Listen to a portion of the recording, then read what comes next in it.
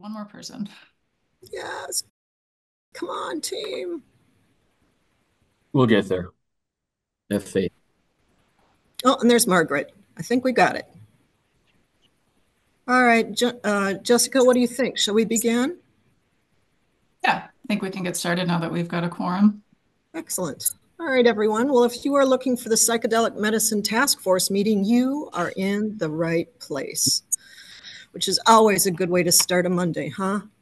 Um, uh, we've got some slides up on the screen. We always have the screen slides up to start our our meetings and with just some reminders for our members as well as for those that might be viewing this meeting. Uh, members, uh, good time to check, check your controls, um, sounds. Uh, you know now that we uh, tend to not use chat because not everybody's watching it uh, myself included, I've got um, a shortage of um, monitor s- space. So we tend not to use chat, but we do use our mural. So you'll want to make sure, especially today, because we will be doing a lot of work on the mural. So members, go ahead and get into the mural. You've got the link within the meeting invitation that Jess sent out. Uh, so make sure you're ready to go for that. Uh, sure do appreciate when, uh, especially when you're speaking, to have your cameras on. It gets lonely here.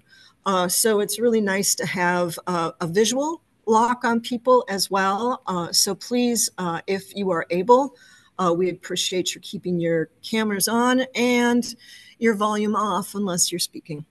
Um, and our Jess, if you can move to the next slide. excuse me, just a reminder of the staff members that are supporting your efforts, task, uh, task force members. We've got uh, several folks from the MDH staff, Carrie Glopin and Dr. Carolyn Johnson. Uh, you've spent a lot of time with both of them.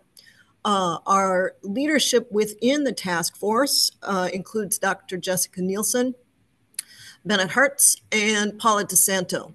Uh, and then your staff with MAD. MAD is your facilitation and support service for this initiative. Includes Jessica Burke. Jessica is the one with uh, the technical stuff uh, and sharing her screen and doing all of that, moving the slides around. Nick Core is part of our team as well, and myself, Stacy Shogren. Uh, so I will be working um, with our chairperson, Jessica to make sure things are moving ahead and you get your decisions made today. And next slide, please. Uh, meeting observers. Uh, we while we are recording these this meeting to um, simultaneously post it on Zoom. Jess, I'm not sure if I said that exactly right, but there we go. Um, uh, uh, minutes will be taken and then posted on the website with a lot of other materials from this initiative. So if you want more information, um, please, the easiest thing is to just go over to the MDH website and do a search for psychedelic medicine. That gets you there quickest because y'all can't click on these links. It doesn't work that way. But we welcome any meeting observers to these meetings. We appreciate your interest. Um, we will, as I said before, be sharing our screen and you'll see the group working and uh, talking and making some decisions. Uh, and let's go to the next slide, please.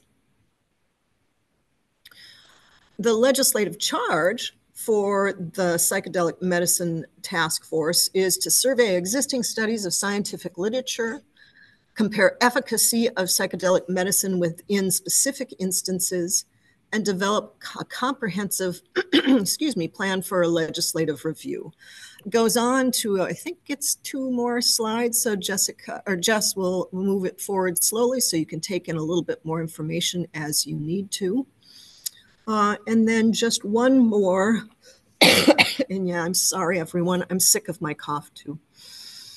One more message to observers, and that is we would ask that you refrain from raising your virtual hand uh, or doing anything to engage with the task force members. This is their time to get their work done, and they've got a lot of it. So we appreciate your interest, but ask that you step back um, and let them allow them allow them the space to get their work done. Um, and with that, I think we can move on to, um, to our next bis- bit of housekeeping details. Uh, and, uh, Jessica, if we want to go ahead and what, start roll call, do minutes from the last meeting? Should we take care of some business? Yeah, that sounds good. Thanks, Stacy. And yeah, I just want to say thank you to all the members that are joining and, and the observers watching. Um, so first we need to do just a roll call to make sure that we have a quorum secured before we start our business today.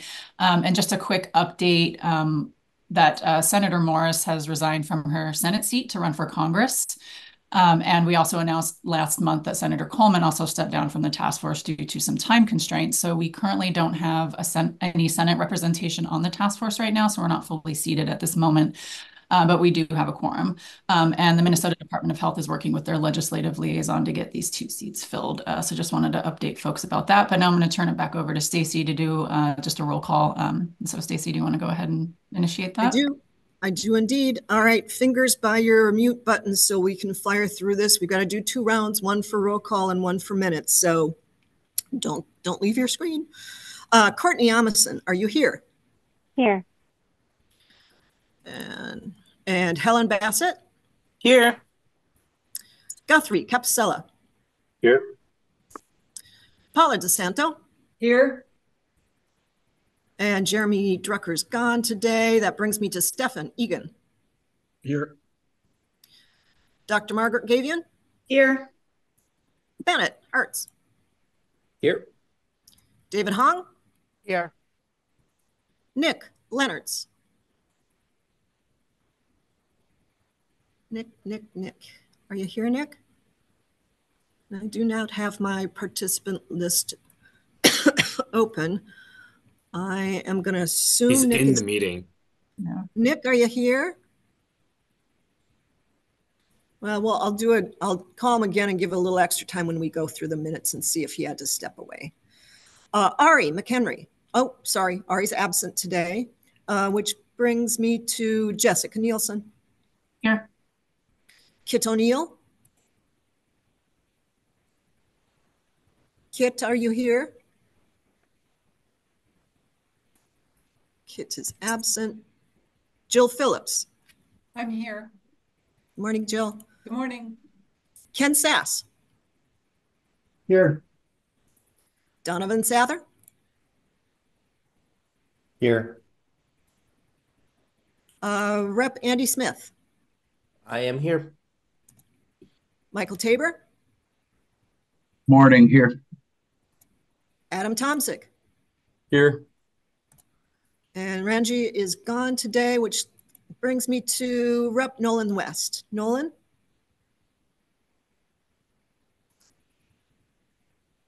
Nolan, are you here? All right, I'm going to zoom back up uh, and just double check with Nick. Nick Leonards, are you back at your computer? Okay.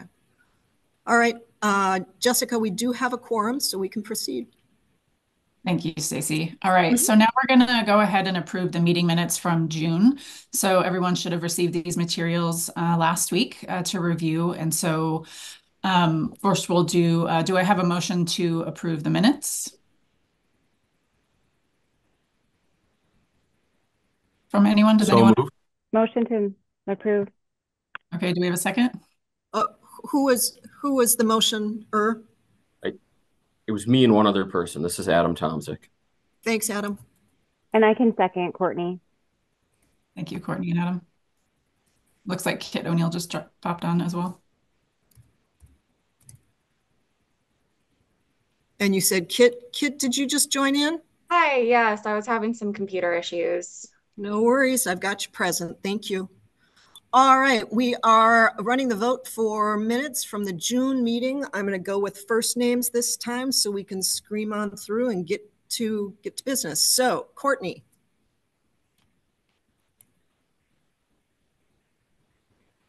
Sure, Courtney, yes, approve.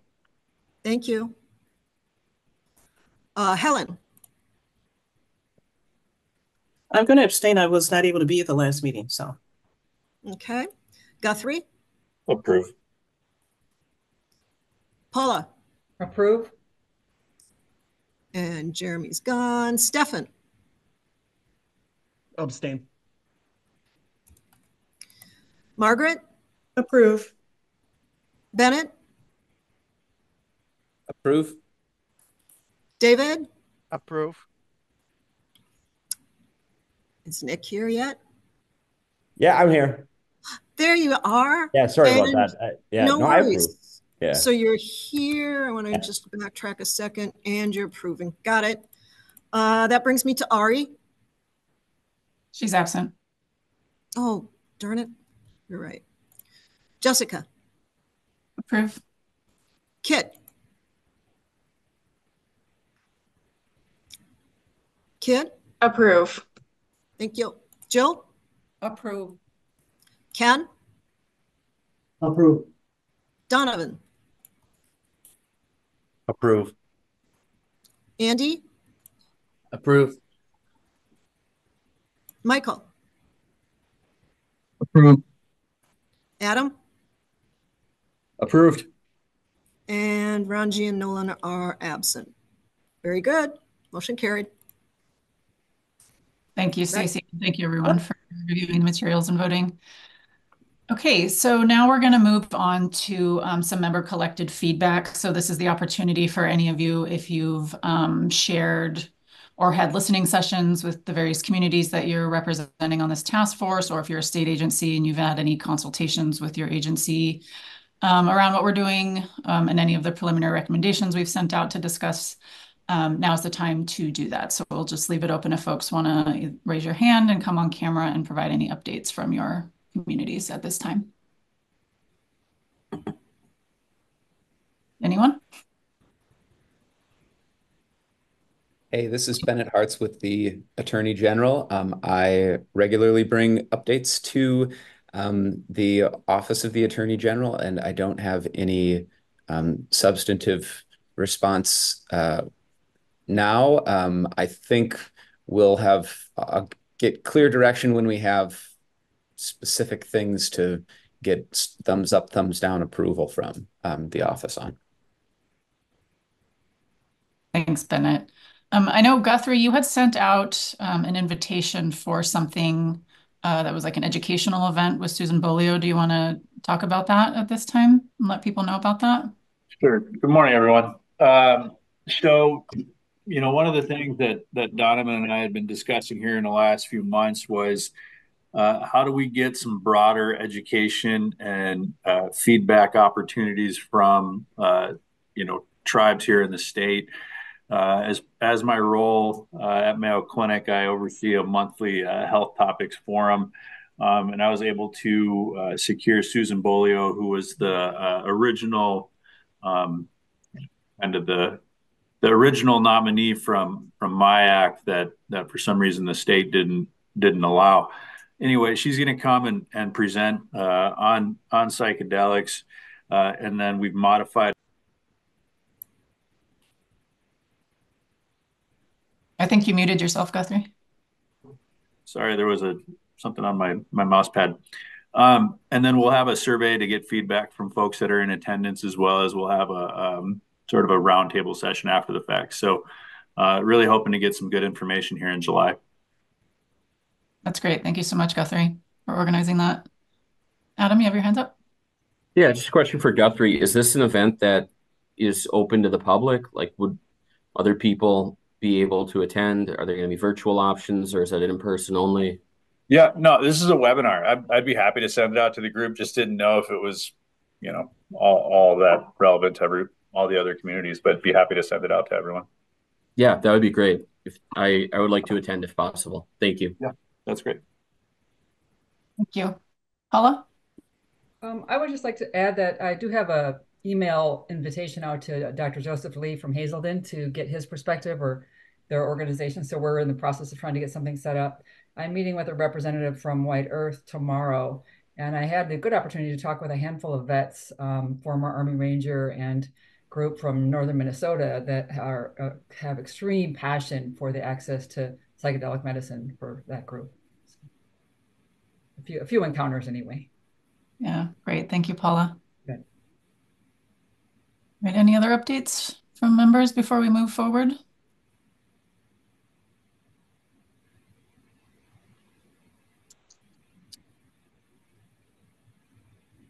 Okay. Oh yeah, Helen, go ahead. Yep. Hi there. You know, we get our little uh, have to do our little uh, chat, you know, reactions and get them all lined up. But anyway, I actually have, uh, you know, send along a lot of information or the information kind of most updated to uh, several members of our uh, senior leadership team and kind of teed up for them that uh, this group will be moving toward making some decisions soon. And so uh, just so they're alert when some recommendations come back that they're able to get them. There also are a couple of interns in our office, and one of whom has expressed interest and perhaps listening in at the public uh, meetings. And so uh, after this meeting and going forward, I probably will send that link to her so she can easily find it and, um, you know, just kind of follow along. And I think the webinar might be a good thing for her to uh, kind of listen in on too, since she's expressed an interest. So that's kind of my little update from Commerce. Thank you so much, Helen. Anyone else?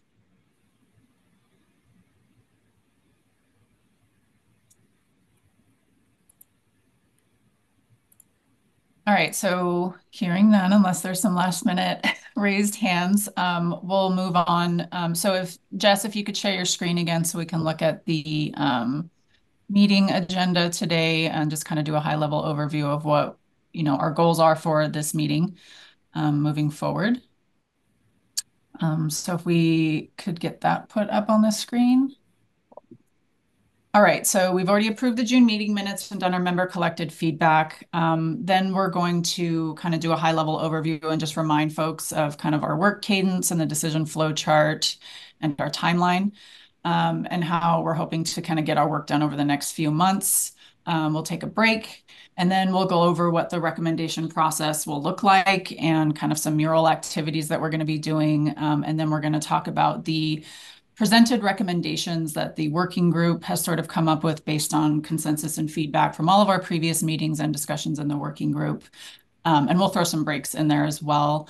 Um, but this is going to be a time where we're going to heavily rely on just interacting on Mural, getting all of your feedback from the materials that we sent out over the last week uh, to really start thinking about what recommendations we might want to um, finalize in our report and start writing up and figuring out what would be some good regulations and statutory changes needed to implement those. Uh, next slide, please. Okay, so um, do we want to go to the next slide? Right. Okay. So again, this is just a really high level reminder of kind of the decision flow chart that uh, Nick Core has put together. I don't expect you all to kind of be able to read all of this. It's just sort of a general timeline of kind of where we're at and where we're going and where we are right now. Um, and so I created a more simplified version of this. If you could go to the next slide, please. Um, so this is basically just showing, you know, from in December through January, we're really just getting started up assessing like what were our guiding principles, um, what kinds of things did we want to explore further, what were the parameters of the scientific literature. And then um, up until last month, we were doing a lot of learning from subject matter experts, evaluating the scientific literature, and the working groups were meeting to really kind of get more information from additional subject matter experts and, and figuring out and refining what we would potentially discuss as recommendations. And so now we've moved into this sort of July through August phase, but we're really going to go more in depth into the recommendations that we've honed in on um, to discuss them further and determine which ones we actually want to decide upon. Um, then once all that's done, starting in December, we're going to start drafting this final report. And this is something we're all going to work on together um, to really get different sections of this report and whether we're going to actually have any recommendations um, or conflicting opinions about the recommendations and sort of what that will look like moving forward and really bringing in all of the data and resources from state agencies and communities to, to fill this report in uh, to submit to the legislature, which will be due on January 1st of 2025, uh, which is when the final report is due. All right, um, next slide, please. Okay, so now we're gonna go over to Mural, and I just wanna give folks kind of a high level overview of how this process is gonna work, uh, so people kind of understand what um, the process will be and, and how we're going to be sort of discussing some of these recommendations. And just want folks to know that we're not making any final decisions today. We're not doing any official voting.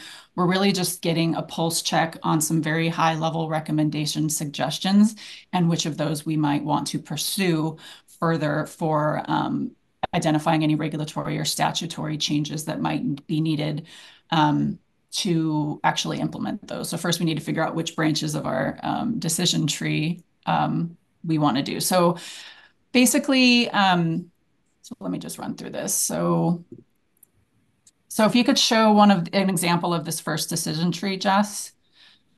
Um, so this sort of high level recommendation one. Okay, so this is a very, very, very high level snapshot of what could potentially be um, recommendation number one around decriminalizing uh, the psychedelic medicines that we're tasked with um, studying.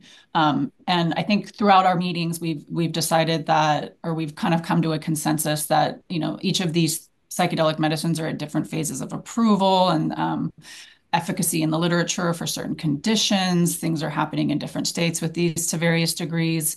And so we kind of came to a consensus that we probably should be thinking about each of the psychedelic medicines differently under the three broad umbrellas of recommendations that we have. And so that would be decriminalization as one recommendation. And do we want to look at each of those separately for MDMA, LSD, and psilocybin, either synthetic or um, naturally grown um, psilocybin mushrooms. Um, the second recommendation is around more research trials, again, looking at each three differently, um, and whether we want to include natural mushrooms in that. And then the last one being um, a state regulated medical program um, and what that would look like moving forward. So, so what we're going to do initially is we're really only going to attach or attack each of these questions and each of these branching points one at a time. So for example, we will talk about decriminalizing MDMA. And what we're going to do is having looked at the chart and kind of seeing what the general umbrella is in terms of these decision trees and branching points, um, we'll do what's called a SWOT analysis. Um, and so for those not familiar, um, that's an, if you want to um, show the SWOT analysis, Jess, just kind of the higher level table. Um, and I think the text is a little small, but we basically um, are breaking things up into perceived strengths, weaknesses, opportunities, and threats. That's what this acronym SWOT stands for. And it's really kind of a, a tool that's used in the business world, I believe, to help companies evaluate new ideas. Um, and so we're going to be using this here to get a better sense of how each of you are currently landing on each of these potential recommendations based either on your experience in the community you represent or as a member of the state agency you work for and are representing here on the task force. And this work this works by allowing everyone to share what the actual strengths, weaknesses, opportunities, and threats are for a given recommendation. Strengths and weaknesses should be viewed as those that are internal to Minnesota and the different state agencies, whereas the opportunities and threats should be viewed as those that are external to Minnesota, such as federal laws and other factors that are somewhat out of our control, with the goal to transform and address any weaknesses to be able to turn them into strengths and to see what we can do to make any external threats potential opportunities. And something to keep in mind for this work is not to necessarily identify a weakness that is just the direct inverse of a strength, um, because these ideally should be independent factors that we need to consider. Um, and so in this process, we'll give you all about five minutes for each individual kind of question that's being proposed to sit quietly and engage with Mural um, to fill those out. And so there's some boxes up at the top that you can grab, some text boxes that you can move in and try to weigh in on each of those, and we'll give you some quiet time to do that. Once that's done, we're going to move on to a discussion of the of kind of maybe some of the themes that have popped up from the SWOT analysis and um, see if there's any negative, um, see if any of the negative points, threats, or weaknesses could be made into strengths and opportunities. Um, and then once we've sort of had a good discussion about that, then we'll move on to what's called a gradients of agreement. So Jess, if you could just scroll down a little bit so folks can see what that looks like. So this is to get a quick pulse check on each recommendation before moving on to the next one. Um, so we will not be making, again, any final decisions or officially voting through this process today, but just sort of ranking whether you love, like, live with, are leery of, or loathe the idea. Um, so this will help us rule out potential downstream branches of this larger decision tree. So the working group um, over the next month can focus on coming up with additional downstream decisions to discuss and vote on for the August meeting. And potentially we'll need to um, have more decision making done in September as we're starting to think about how these are getting finalized and how we're going to write it up in the report. And Jessica, if I may, just yep. give a little bit more information as we've uh, tightened the screen in um, that Jess is sharing, or if you're looking at it on your own, um, there are dots next to each one of these gradients of agreement table. Grab a dot, members, and pop it in one of the five boxes that represents where you're coming from. You love it, you can like it, you live with it, leery of it, or loathe it. If you end up putting your dot in either the leery or the loathe box, we want you to grab another um, rectangle sticky note and put it in this area that's white in either of these spaces down below leery or loathe and tell us what your concern is and what you would need to see changed in the recommendation to get you up to at least being able to live with it.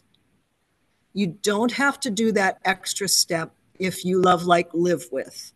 We're trying to see if we can get the group up to at least those three areas, but want to hear from those that are at the leery or loathing stage. So two step process if your dot lands in leery or loathe.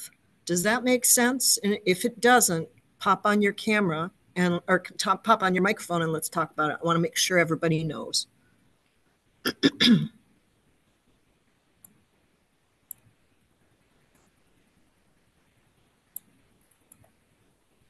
So far, so good. All right. Okay, so um, yeah, just want to give one more opportunity if anyone has any questions before we dive into the the first uh, sort of broad question and uh, SWOT analysis.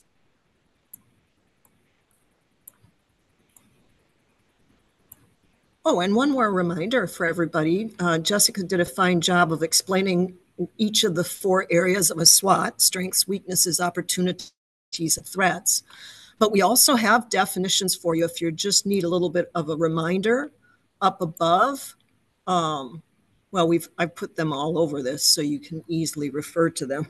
but it's up above and just to the right of the big brown box that says recommendations regarding decriminalization. Not over there, though, Jess. Zooming out, zooming out. Look for my cursor moving around. There you go. They're right up there. So if you need to refer to it, great. They're there for you. Yeah, thanks, Stacy. Mm-hmm. All right, so the first one that we're going to SWOT um, is this high level um, question Do we want to decriminalize MDMA. Yeah, Adam? I don't want to get us too far off track here, but I understand that within the last month there has been some type of development regarding MDMA at the FDA. I'm wondering if either Jessica or Caroline could give like a snapshot about what happened, what it means. Yep. Yeah, I can do that. Um, so if you all recall last month, Lykos um, which is the sort of pharmaceutical company that's pushing MDMA assisted therapy towards FDA approval. And so they presented to us at our task force meeting last month. And the next day, there was this all day FDA advisory panel meeting to review um, their new drug application and whether they would recommend MDMA approval for PTSD um, to the FDA. This was an independent advisory committee um, that wasn't necessarily affiliated with the FDA. The FDA takes their recommendation under advisement, but doesn't always agree with the recommendations that they provide. Um, so what happened was that this advisory committee voted almost unanimously not to approve MDMA, stating that they didn't think that the benefits outweighed the risks, given some methodological confounds with functional unblinding, given the kind of unique nature of MDMA and how intense the experience is and how hard it is to actually have a, a good placebo and um, blinding um, for everyone kind of observing and experiencing MDMA and whether they got the drug or not. So, so that seemed to be kind of a wrench in the system, um, but also wanting to point out that FDA has been working with Lykos, formerly MAPS Public Benefit Corporations, since 2017 when they granted it breakthrough therapy designation and knew that there was these kind of met methodological confounds and knowing that they were going to have to maybe look at this a little bit differently. Um, and so they were involved in kind of a special protocol assessment since the beginning of them starting the, the process of doing this, their phase three clinical trials. So it's unclear whether the FDA will go with that recommendation or with they will or if they will approve MDMA. Well, we won't know until August 11th when they're supposed to be making that decision. Um, so it's kind of up in the air. 22% of the time, the FDA goes against the recommendation of this independent advisory panel. Um, so we'll just have to wait and see. Um, Adam, did you have another question or did that kind of yeah, just as a follow up, does any of that undo the work that Caroline did in terms of um, summarizing uh, the like the benefits of MDMA. I can't remember how long her document was, but at some point Caroline wrote a document and presented on MDMA specifically. I'm trying to find it right here. Um, the MDMA literature review, mm-hmm. uh, the 14 page document that we got earlier. Does that does that undo that, or is it more of an issue with the nature of the study itself as opposed to the nature of the effects and the Yeah. benefits. Good question. So it doesn't undo the science that's already been done. This is really around how are people interpreting whether the way that the study was done is accurately reflecting efficacy beyond a placebo effect, which is why you do these double-blind trials. So that's sort of what's being called into question, that the efficacy could be mostly driven by the fact that people knew they were getting MDMA. Um, but it doesn't change the facts of the science and the literature that's already been reported and the data that went into the new drug application. Um, some other issues were that there wasn't um, accurate monitoring of certain health uh, concerns around was there any liver toxicity or kidney issues that just weren't measured. Um, and so those are things that um, Lykos is addressing, and it's possible. And we heard a little bit about what's called a REMS program, which is like a risk evaluation mitigation system, where if it's approved, it's approved under specific conditions, and then they will very tightly regulate and monitor select sites that will be early adopters of delivering this to people and continuing to evaluate safety um, and probably effectiveness rather than efficacy, if that makes sense. Yes, it does. Thank you so much for explaining that. Yeah. Um, and even if approved um, by the FDA, it wouldn't necessarily like legalize or reschedule MDMA itself. It would just be legalizing and rescheduling their specific formulation, like any pharmaceutical. Um, and so we might have a bifurcated scheduling where MDMA is still federally on Schedule One in general, but this specific product, like Epidiolex from cannabis, is specifically approved, but then cannabis isn't. So we might see something like that. So states just might have to deal with this a little bit differently depending on what those legal realities look like moving forward. Um, so any other questions about this before we start swatting uh, decriminalization of MDMA?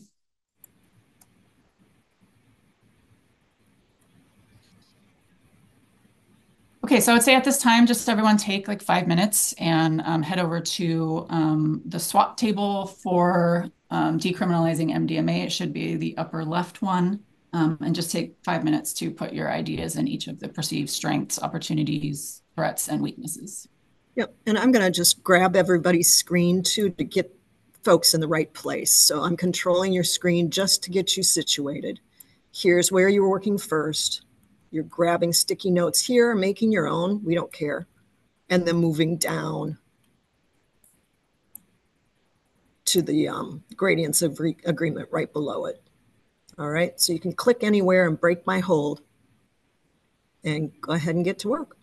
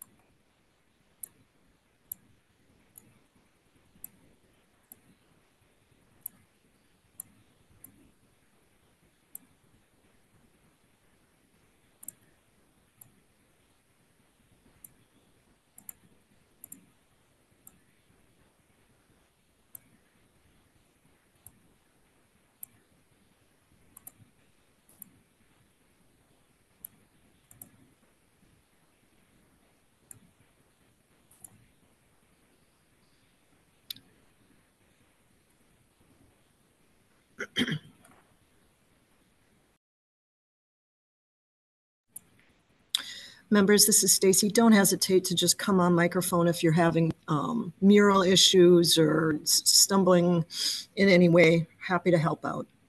And you see me in there just making boxes bigger so people that are watching can see. So don't mind me.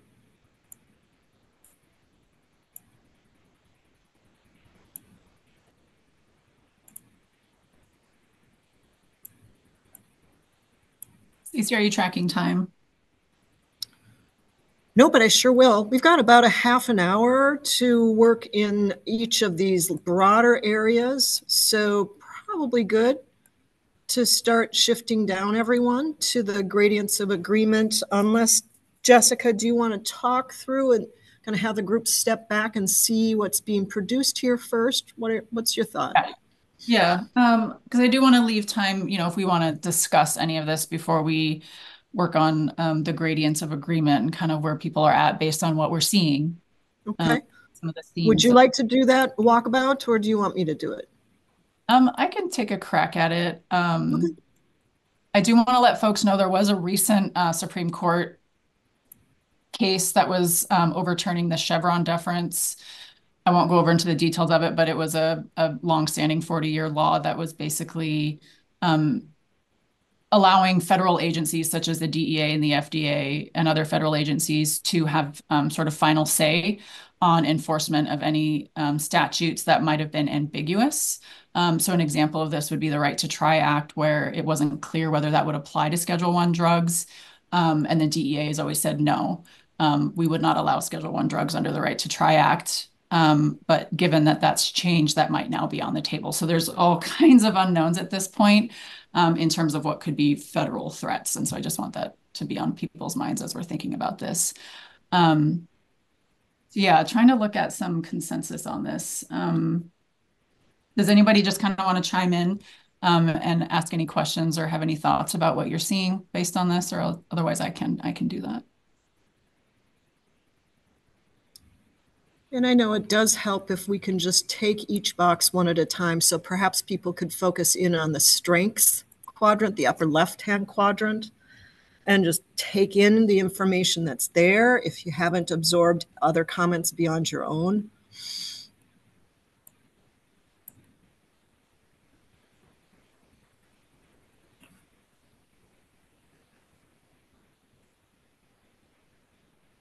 And I'm seeing themes around like just, you know, not having crim criminal penalties for possession. It might make it easier to access, um, promote equity of access, um, access to something that's potentially valuable treatment. Um, is consistent with broad public opinion about previous controlled substances. Um, I think this ties into the fact that both the Minnesota Medical Association and the American Medical Association have endorsed the decriminalization of all drug possession. So any thoughts from folks about these, these strengths that are coming through? I've got one observation here, and you can see my cursor moving around the, hmm, what color is that, blue box? I'm somewhat concerned that the task force may be uh, out front in a manner, that one. I'm wondering if that's actually not a strength, but perhaps should be moved to a different box. Uh, Is it a weakness? Is it an opportunity or a threat? Um, I'm, I'm honoring what's being said here. I'm just not, I'm not sure if it's a strength. So if somebody would like to, uh, if the author of that is comfortable, um, think about or help us understand why it's a strength. Well, that's me. This is Helen. And Yeah, hey, you know, the box is so little, uh, you know, so it's take, so I'm looking at my own screen. And so for me to get to my own screen and get it oriented and then get the box in the right spot and the text the right Ah. size, you know, is a little bit. So it may be in the wrong box. I, I certainly can concede that. Yep. Uh, however, um, this is, you know, so maybe thinking about where it might be better placed, but uh, Uh-huh. I don't think my sentiment's going to change because that's what my sentiment is. It's Totally fine. I'm not, I'm not. Uh, I'm no, I, I I don't feel like you are, but I'm just saying. So it's Yeah, yeah. more that it might be in a different a different spot might be better. Yep. I'm open to Um, that. Are, are you okay if I'm, I mean, would it Oh, be a please better? Please do. I, I I'm Okay. always happy to have help. Helen? All right, so for now, yeah, Oh, I just feel like that might be a, a, a threat potentially if it's sort of like, what's the FDA going to do, you know, and then that sort of like, because the Okay. threats and the um, opportunities are things that are kind of Yeah. external to us and things we need to think So- about. We can't- Absolutely. Thank you. Yep. Yep. And remember, if you're using your roller, you can zoom in with your roller on your mouse. And it may be a little bit easier for you to see uh, where things are. So just just know that. But we got it moved for you, and it, it it's all good. Back Thanks. to you, Jessica. Yeah, Margaret, you have your hand up? I do. I just, I'm seeing similar comments to mine. And so instead of just putting another sticky note, can, like, how do, if I'm seeing something I would have said, do we just thumbs up it? Like, how do we count that? Absolutely, yeah. Okay. So if you hover over it, Yeah. uh, yep, there you go. Okay. So just thumbs up things I would have said, but someone else already said. Mhm. Yep. Okay. So for everybody else, if you hover over it and left click with your pointer finger, a menu will drop, uh, pop up, a horizontal bar, and you'll see a little smiley face with a plus on it. If you click on that, that's how you, what, like a statement, like a sticky. For some reason, that's not working for me, Stacy. I Mhm. I'm trying to do a plus, and it just doesn't show up. Is that So- working, is it working for everybody else? I think if you So- click on the box, it doesn't let you do that. You have to just kind of hover over it and then you'll see like a little add reaction in the bottom left corner that you can click on. But yeah, I think you have to zoom in really far into the box to see. Oh, okay. I think I see that now. Yep.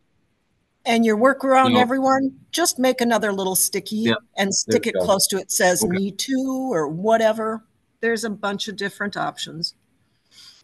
Yeah, I think you can also do like an arrow from one box to attach your box and then it's like a Mhm. continuation of the thought maybe. Yep. Appreciating appreciating all the engagement. Thank you. Yeah, this is terrific. I love data.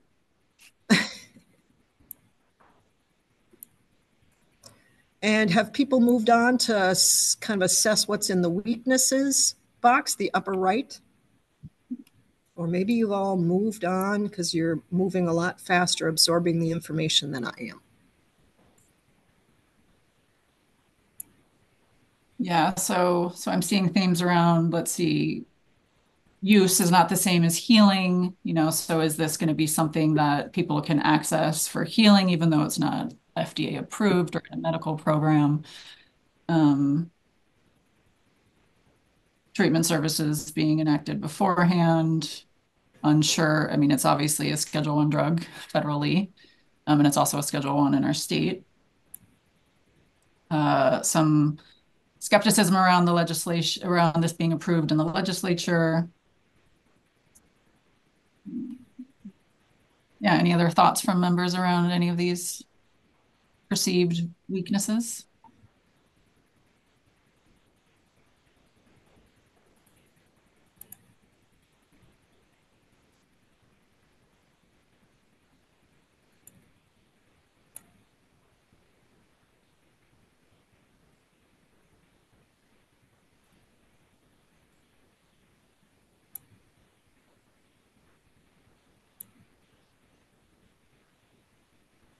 All right. Do we want to move on to opportunities? If there's Yeah. no discussion to be had around the weaknesses, um, so opportunities, these again would be um, potentially things from, you know, external issues. Like I put this note about the Chevron deference, and so the reality of how these things are enforced at the federal level might change moving forward.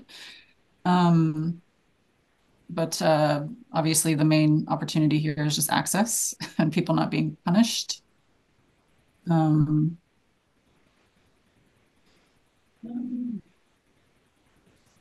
some instances around uh, the VA being able to potentially use it outside of the federal system. Yeah, self-medication.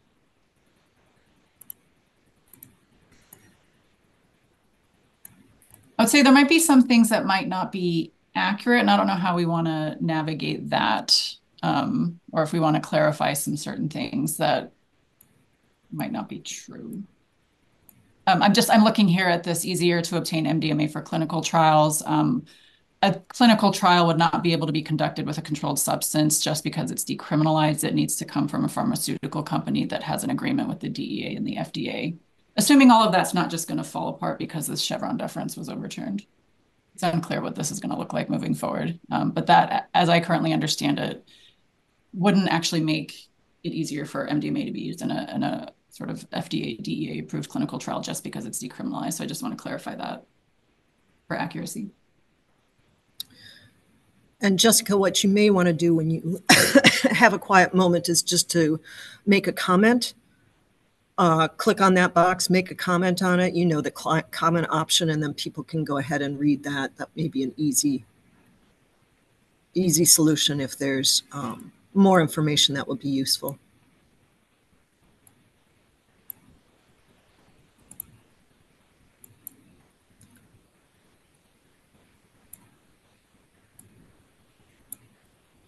All right, in interests then, Jessica, of folks moving along, shall we have them look at the threats box, bottom right-hand threats box?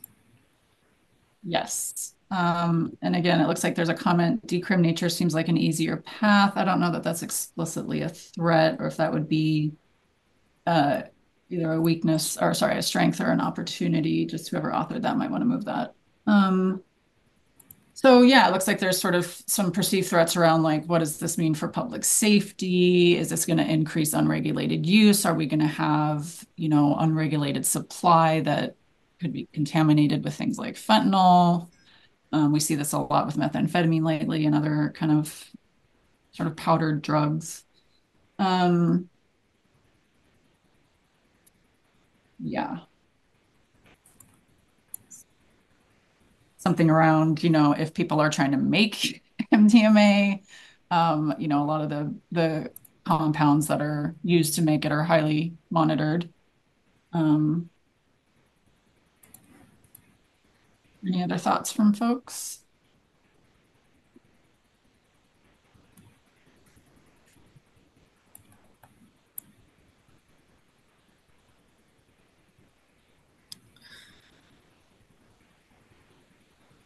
If if there are none, then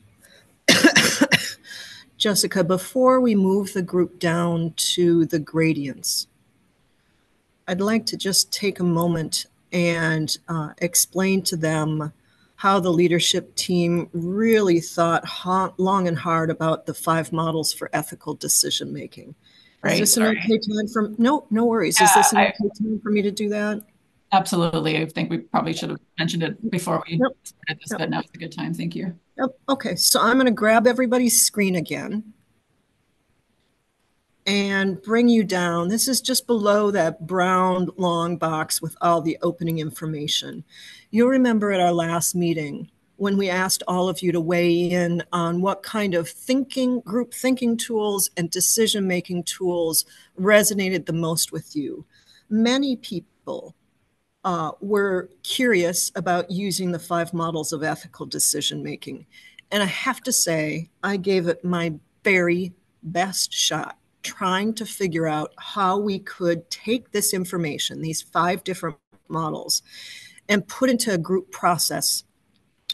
And got I, I got stumped for a number of reasons. So you can see how I've put together for each of these models, if you follow the arrows, a way of group conversation. But just for example, if you look at the common good approach on the bottom right in the brown, I had a hard time thinking about, well, what community are we talking about? What what good for what individuals? It it got to be um, really messy when it came to the virtues approach, even though I understood it in concept, when it came to me to think through, well, who's virtual or whose virtues, whose framework? How do we do this when we're all coming at this with different frameworks of values and morals, then I kept running into another uh, kind of roadblock. So we spent a lot of time as a leadership team thinking about can we make this work? Ultimately, we couldn't figure out how to make it work in this setting, which is why we went to your other choice and pulled out the SWOT and the gradients of agreement. Now, that's not to say when it comes to a point, and we're, we're getting there, when you want to weigh in on do you love this idea, like, live, leery, loathe, you don't take some quiet time and just run it through how you would approach these five models of ethical decision making and then vote accordingly. I just couldn't figure out a way to make it work for a large group. So I wanted to honor that because that was something that was important to all of you and admit that I, I ran into a roadblock, just ran into a roadblock. And if any of you want to geek out on group process and have a great conversation with me later on offline, I am all for it because I'd love to figure out a way to make some aspects of this work. I just couldn't figure out how to do it. So, with that, Jessica, I'll turn it back to you. If you think the group is ready to tee up their great for this first decision point. Yeah, thank you, Stacy. And and uh-huh. yeah, just like the the um, five models of ethical decision making to me kind of struck me as similar to our guiding principles of just like kind of have that in the back of your mind of where's your own kind of moral compass as you're as you're weighing all this information and making decisions about this. Um, so going down to the gradients of agreement. So this is just sort of the broad, do we want to pursue decriminalization of MDMA and just put one circle uh, based on how you feel, whether you love it, like it, live it, live, can live with it, or if you're leery of it or loathe it. And again, if you're leery or loathe it, um, put a comment um, in the box below as to why. Thank you.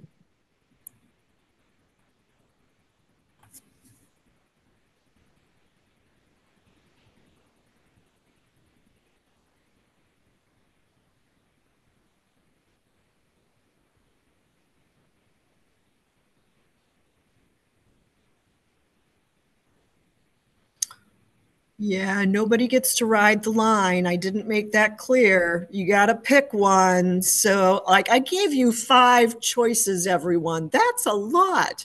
It's like so much more than thumbs up, some thumbs down. So, no line riding. Thank you. How about close to the line, Stacy? Yeah, well, that's it's either in or out.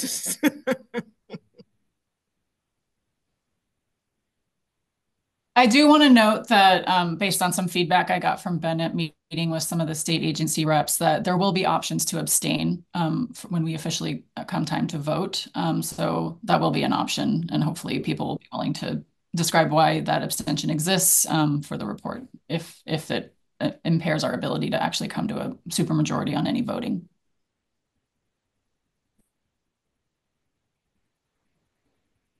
But right now, we would like to get everyone's feedback.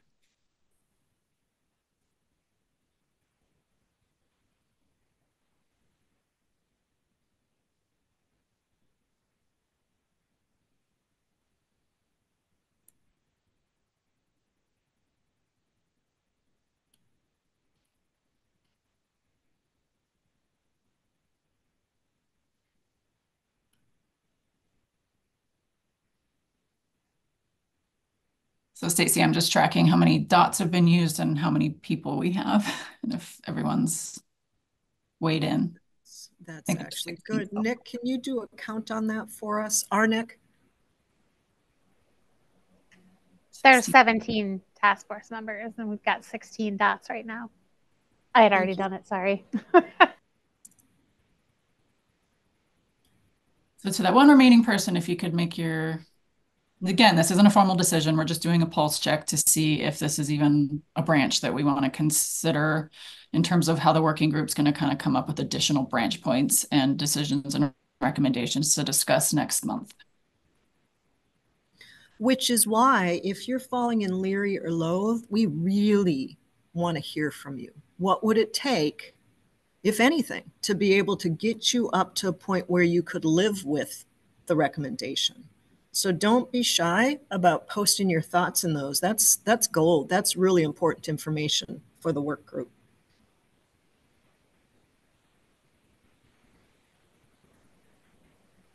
And that's 17 votes now. Okay, Everyone has voted.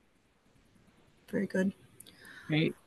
Thank Well, you. Jessica, Jessica, should we clip right along and get another one done here? Yeah, so next we're gonna, we're not gonna continue down the MDMA path. We just are trying to get some like really high level, like which branching points, starting points do we want to explore further? So next we're gonna move on to um, the broad kind of recommendation and path of whether we want to decriminalize LSD. So We'll just give folks, again, some quiet time to put um, your thoughts in the SWOT analysis boxes around perceived strengths, opportunities, weaknesses, and threats of decriminalizing LSD. And if you're not sure where they are, I've just posted a follow me if you feel like it, because I'm focused in on exactly where you need to be. You can ignore me if you already know. And I want to mention that um, sticky notes can be copied and pasted. So if you have Mm. any um, strengths, weaknesses, opportunities, or threats that you have want to duplicate, you can just go and grab them and copy and paste from the previous a previous box into the current box. And you do that by right clicking on top of the one that you want to duplicate and then look at the menu for the du- duplicate um, option.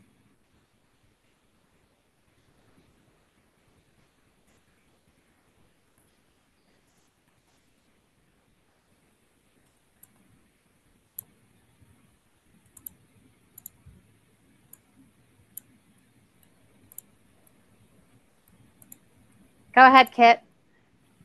Just a question. Um, I think there might be a little bit of confusion as to what decriminalization would lead to for each of these um, like boxes. This would be the first step to creating a state regulated program for each of these substances. Is that right? I don't, I don't know that that would necessarily be the case um, because um, Like you could create a state regulated program, but you have to decriminalize first, right? It, I can speak to that maybe a little bit. Um, basically, this we we have state statutes in Minnesota that say here are the different levels of criminal penalty for possession, sale, uh, quantity of possession, quantity of sale, et cetera, et cetera. And this would be like, I think de decriminalization means that, you know, sort of personal possession or use would not have a criminal penalty attached to it. And it doesn't say anything more about like, would this lead to a, um, a, a you know, a, a regulated market, a, a medicalized market? There, there's that's not inherent in decriminalization. It would just be removing criminal penalties for, you know, sort of individual possession. Okay, so if individuals were creating a substance for sale, would that also be included in decriminalization, or is that more of like, eh? You know, that's that's a a shade of question that I don't think is is captured within the question of whether to decriminalize or not. I think that's ultimately a question for probably the legislature. Um, it would because there's there's you know there's sort of different levels of criminal possession or a, a criminal penalty based on possession and use. And I think it really would be, I think that the proposal would be, you know, either decriminalize yes or no, and then Mhm. it would be up to the legislature to decide how far they, how far up the ladder they want to decriminalize, right? Do they want to decriminalize possession? Do they want to decriminalize possession of a lot? Do they want to decriminalize sale? Do they want to decriminalize sale of a lot? I would say probably, at least the way I'm thinking about it is I'm thinking about it dec- and this isn't like I'm not speaking and saying this is what the the um uh, this is what this this exercise is about but when I'm thinking about it I'm thinking about decriminalization for like an individual person Okay, that's what I assumed. Yeah, and that's sort of reflected in that kind of flow chart that's to the left for this. And like there are potential pathways that the legislature could think about of like because the language in the Minneapolis deprioritization executive order was that cultivation and sharing with other people was okay. And you could also buy it from somebody, but you couldn't manufacture it on a commercial scale and sell it to people. So there was like a distinction. And I think in the sort of decriminalized nature movement that's kind of going on around the country, it's this grow, gather, gift model where it's not really supposed to have any like commerce around it. Okay, super. Thank you. Yeah.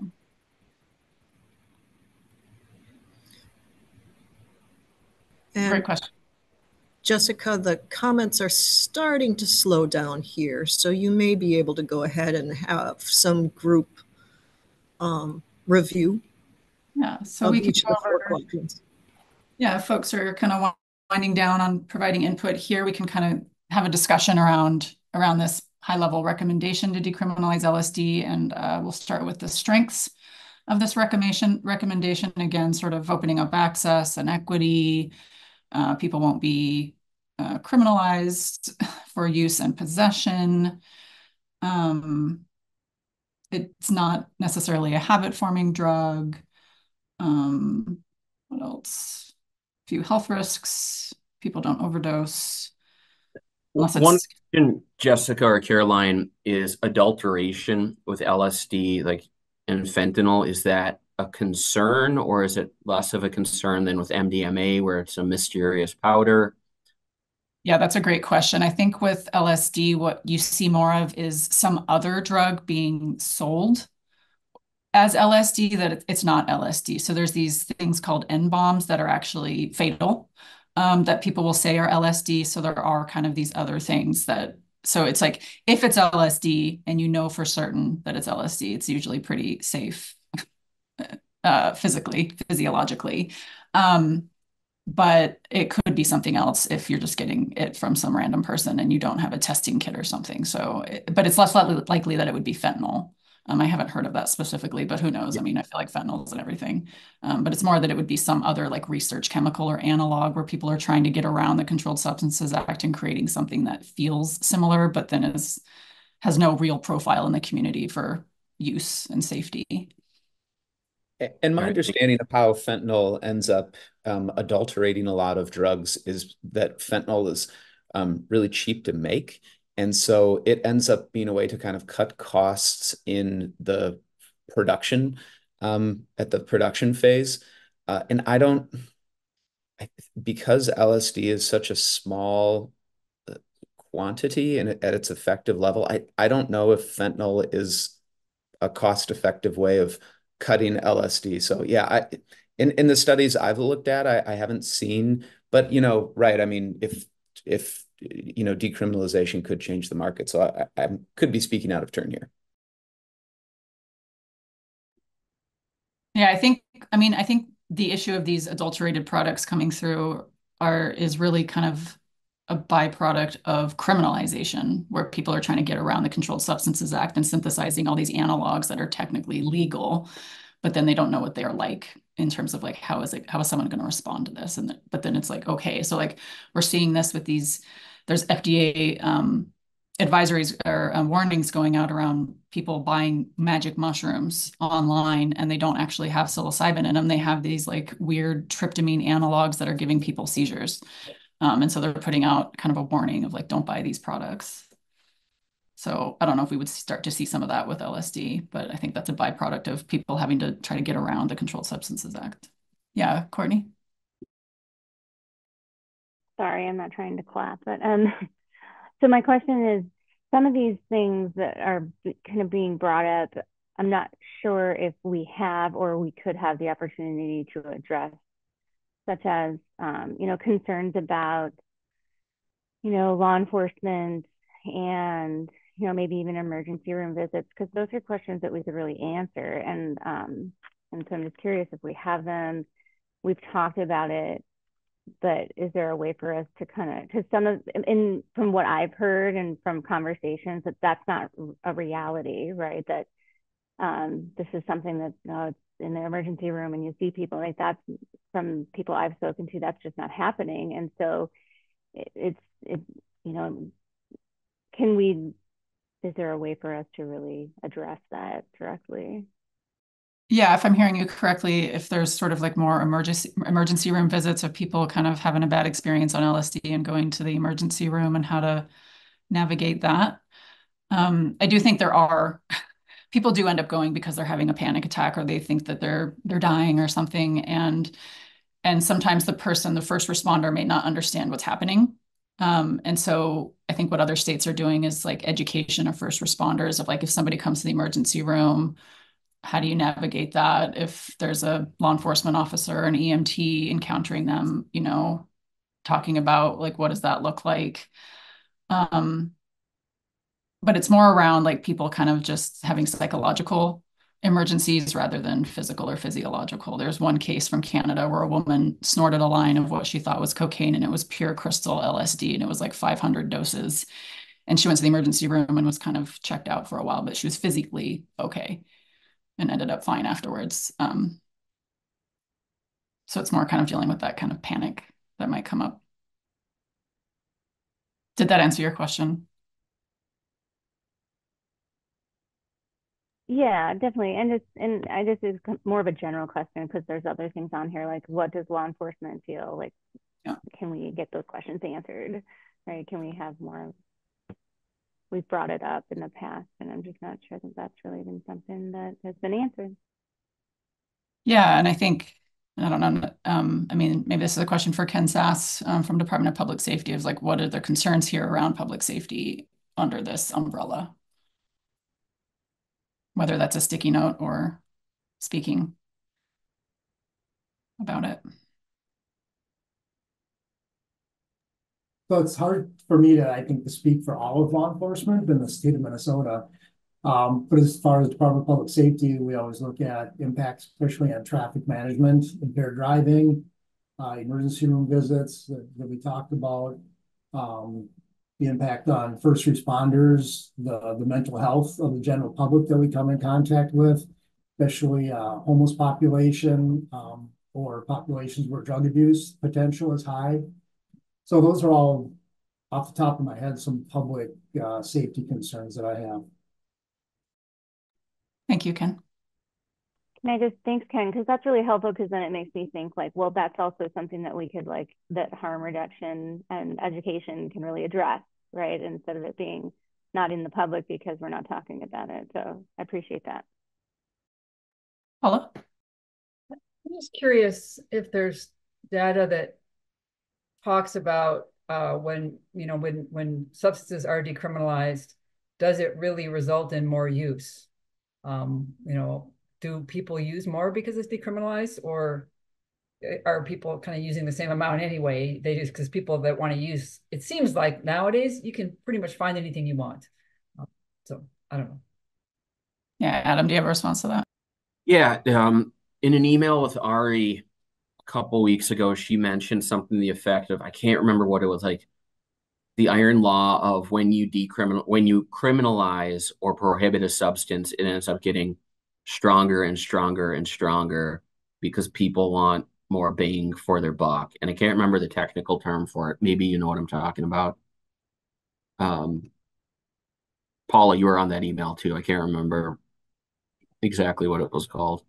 Yeah, you mean as far as they're they're develop more tolerance, and so they just kind of go after more. Is that what you're saying? When things do become criminalized?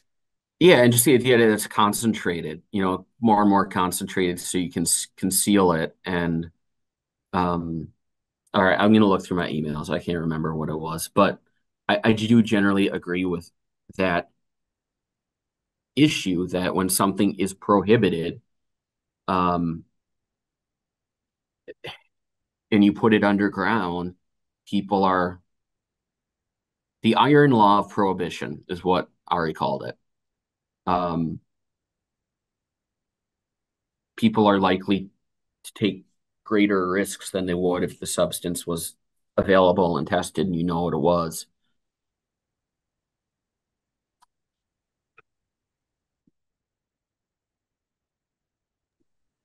It's just a curious question. And like like you were mentioning too, Jessica, there's you know, there's all these novel, you know, psychoactive substances out there where everybody's, you know, changing things and changing the analogs or molecular tweaks to kind of get around the Controlled Substances Act anyway. And so yeah. And, you know, fentanyl is almost outdated now. It's xylazine and the, you know, the, the tranquilizer, the, the animal tranquilizers that are, are showing up. And um, we had somebody that just did some testing of their, of their dope and everything that you could imagine was in there. Uh, and that wasn't good news. Yeah. Jill? Yeah, I just, I'm probably living under a rock, but it was just um, reading that Oregon then has recriminalized their drug use. And I just was, they of course were leading, the leading state on decriminalizing drug use. Now they've recognized all the inherent problems and are reversing that. Can somebody speak to that, please? Yeah, I can speak to it a little bit and then Adam. Um, so they recriminalized because of fentanyl and more related to the opioids. And um, so when they decriminalized possession of all drugs, they had a whole program in place that that was set up to try to do education and harm reduction that wasn't actually implemented or disseminated. And this was right when COVID hit and a bunch of fentanyl was hitting the West Coast. And so they just got they just it, it turned into a really gnarly situation and it was mostly around the fear around fentanyl and overdoses and it was actually happening in a lot of other states it wasn't unique to oregon um, and so they just sort of recriminalized everything and psychedelics got thrown into that but it wasn't because of the extra use of the psilocybin service centers or anything that that was the driver of that decision um, adam i don't know if you have more to comment on that situation yeah, I agree. It was it had nothing to do with psilocybin. It had nothing to do with LSD. It was all about fentanyl. And yeah, Oregon just didn't quite appreciate the nature of addiction, but it wasn't having anything to do with the psychedelic medicines that we're talking about.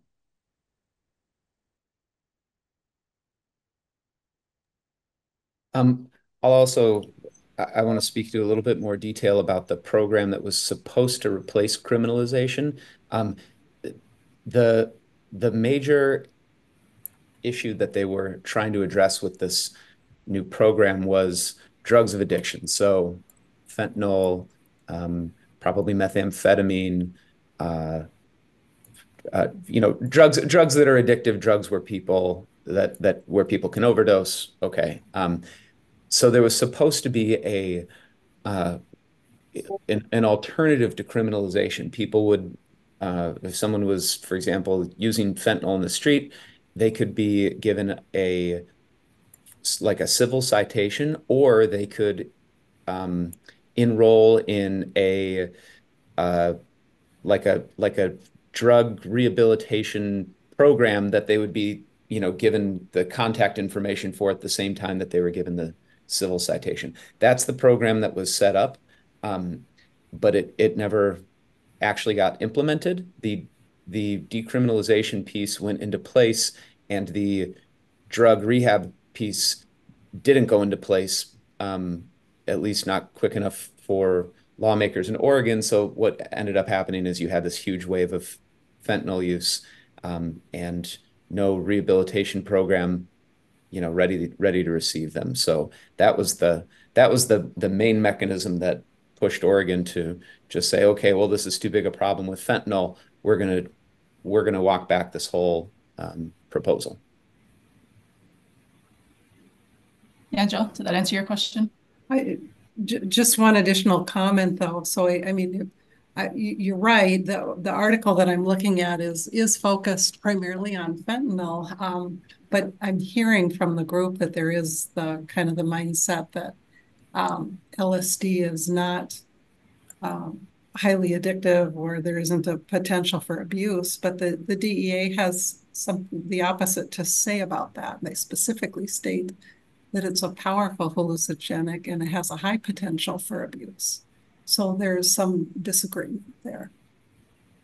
Yeah, I think that comes down to what the FDA describes as as those things around what is abuse potential, which is sort of any use of the drug, even just once. I think gets labeled as abuse potential, and then um, things with a high potential for abuse are things that, by definition, cause hallucinations, which things like psychedelics do.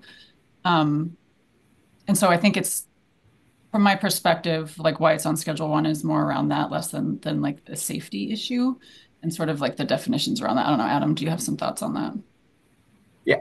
Everything has a high potential abuse for the DEA. You know, when all you have is a hammer, the whole world looks like a nail, and you got to justify their two to three billion dollar annual budget. So, I anything the DEA says, I would really take with a grain of salt and understand that they have an economic interest in continuing to prohibit everything that is prohibited.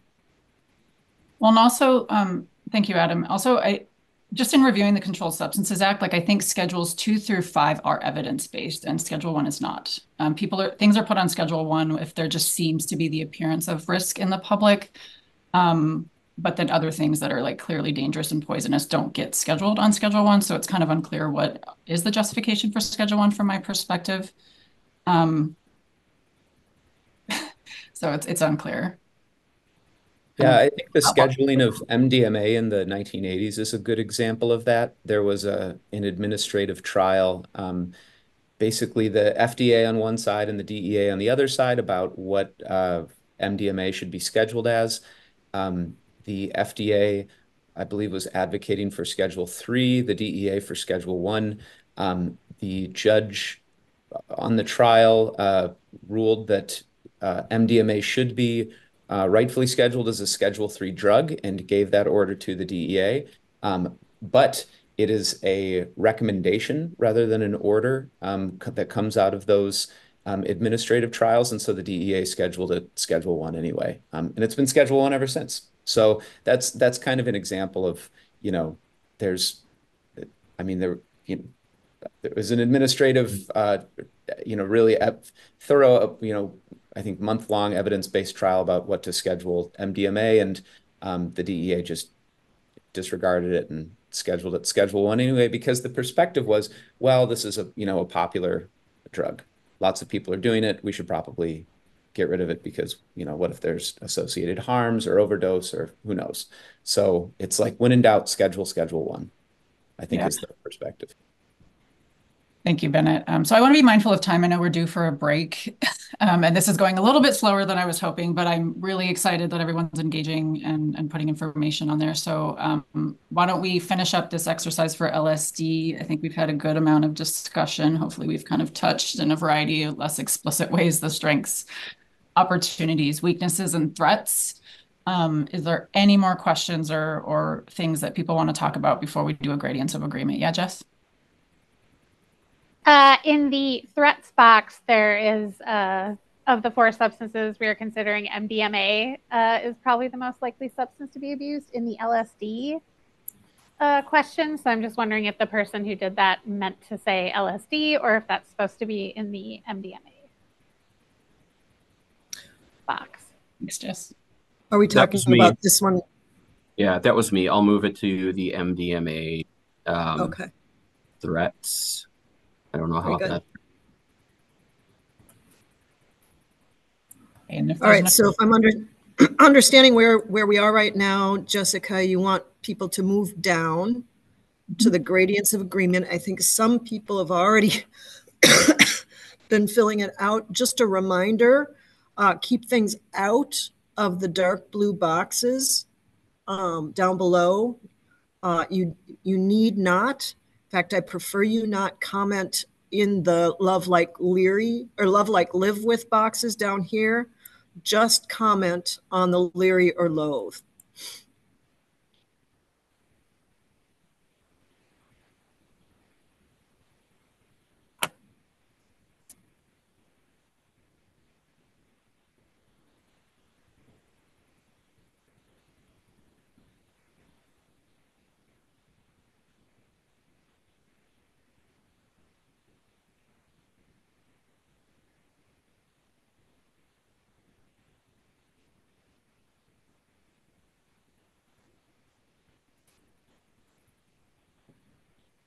And a reminder, if you're falling in the leery or loathe category, please, I see more people putting in comments, please let us know what you're thinking.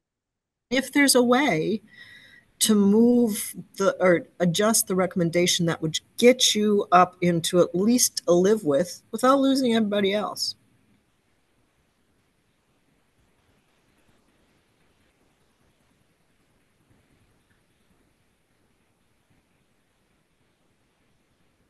I think we have 17 responses, just looking for those extra comments for the Leary and Loath.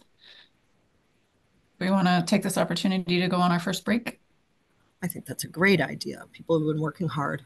Yeah, thank you so much, everyone. so maybe come back at 11.05. Does that work?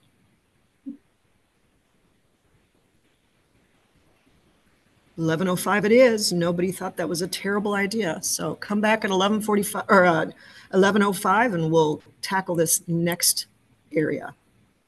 Thank you, everyone. Thank you.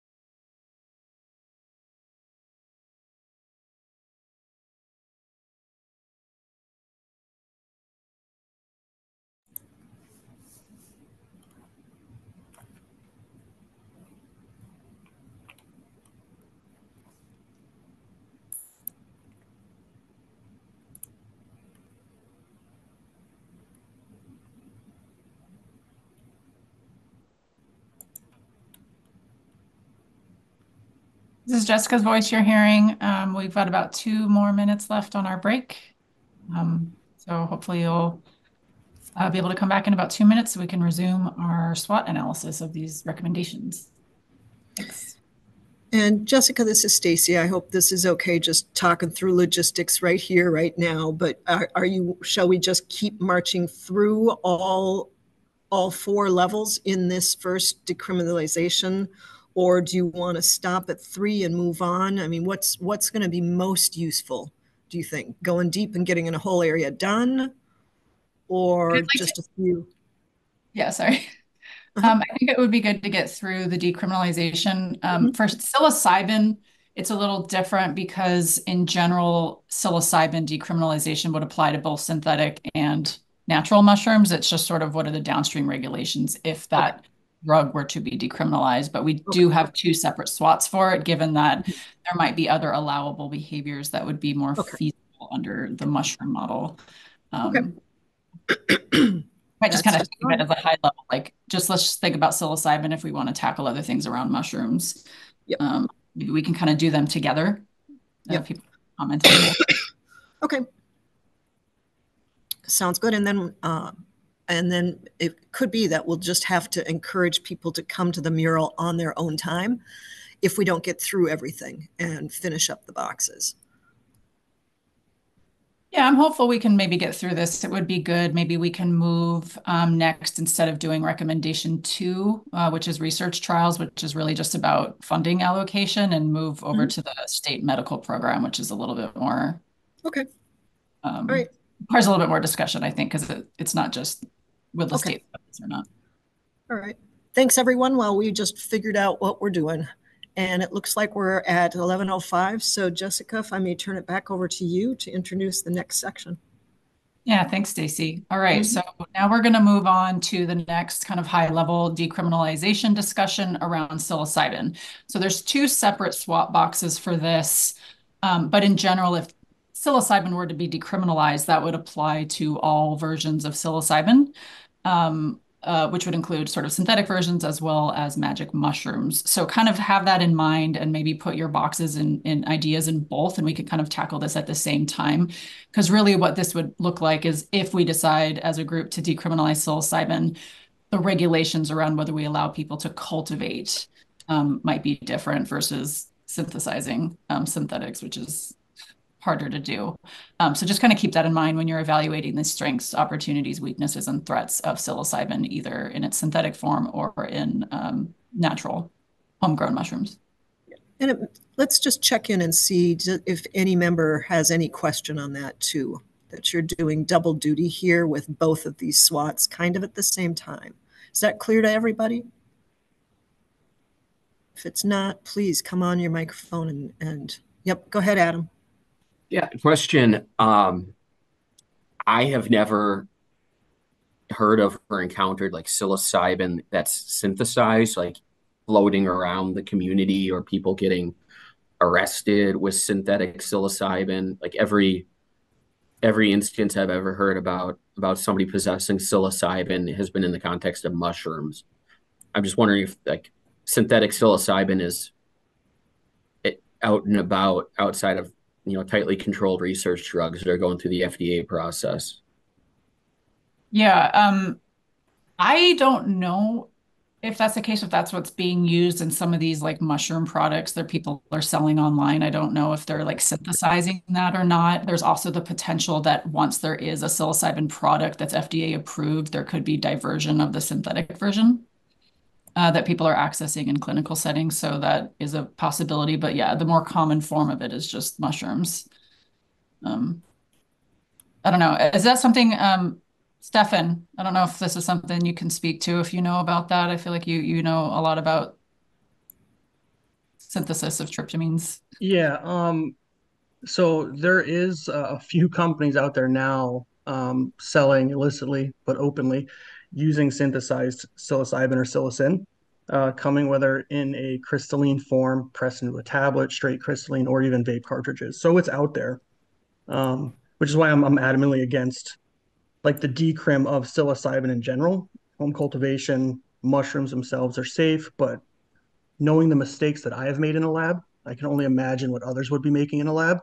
And that could be extremely detrimental to both the uh, quote unquote scientist or the consumer itself, especially with these vapes. Who knows what they're being cut with?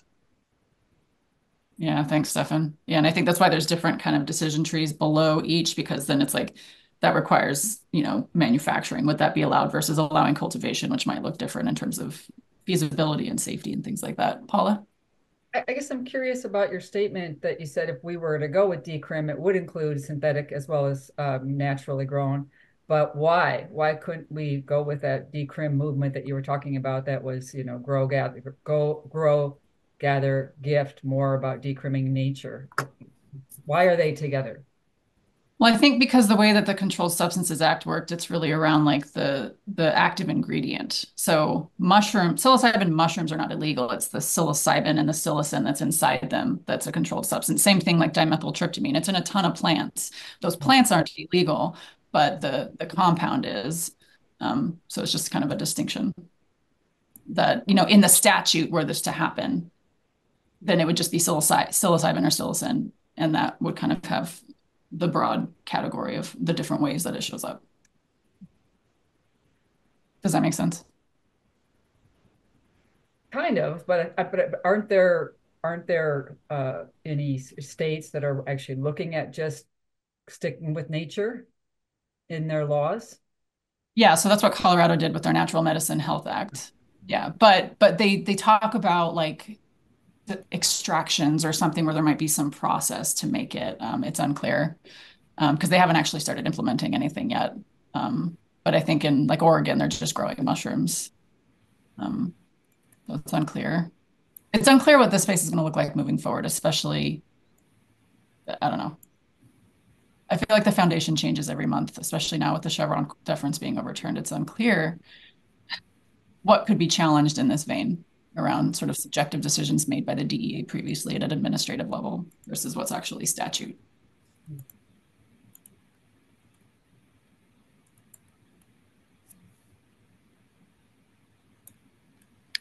So members are working on both of these SWOT boxes at the same time, decriminalizing psilocybin and decriminalizing psilocybin mushrooms.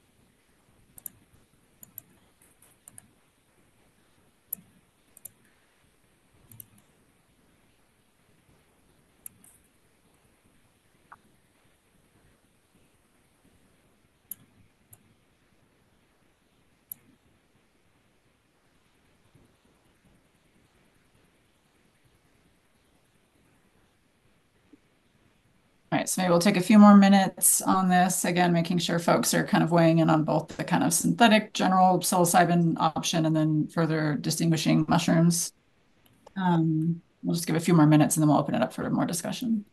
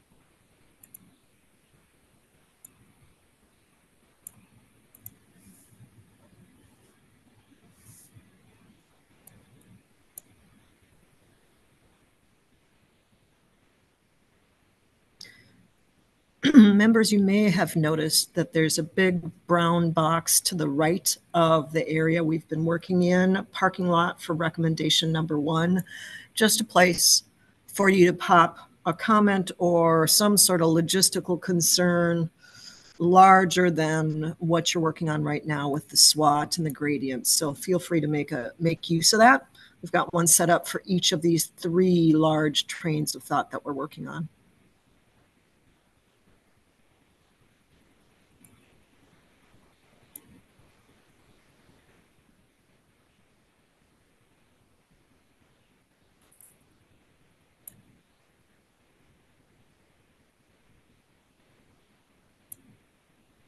I think I want to move on to um, some open discussion around this. So um, do folks have any questions or themes that are emerging that they want to talk about or clarifying questions around what this umbrella might look like?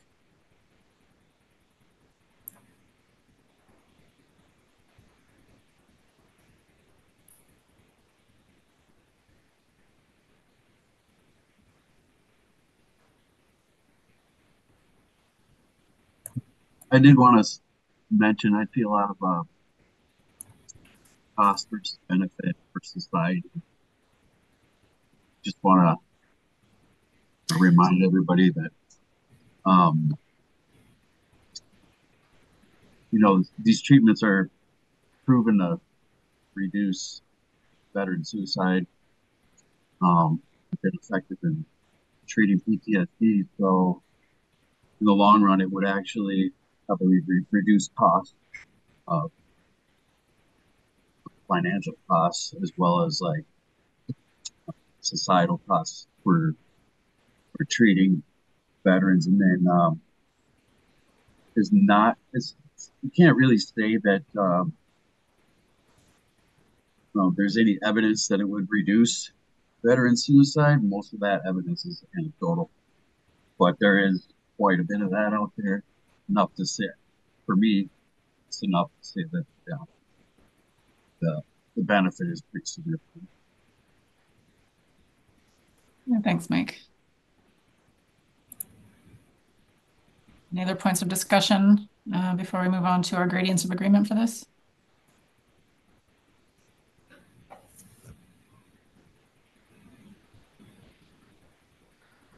Yeah, yeah, just real, real quick. Um, we haven't, we haven't discussed it today, but we've discussed it at length in the past. Just, just uh, the, the integration within ceremonial uses and religious uses. I, I think, you know, you know, it's something to be considered with both the synthetic as well as, um, as well as, well as the plant-based, and I'm, and I'm gonna be interested to watch, uh, here in a couple weeks when we have that discussion, uh, with Susan, um, as she might draw some of those, those comparisons, but I think, you know, this really breaks down into some of that religious access stuff that we've been talking about in the past few months. Guthrie, this is Stacy. I, I think everybody un- heard and understood what you were saying, but we were getting some reverb from you. So it may be that you've called in on your phone and on your computer. Could you just double check to see uh, your mic settings here because we're getting we're getting double. And if anybody wants you to have another go at what you were sharing with the group, that's just fine. I just want to make sure that people have heard.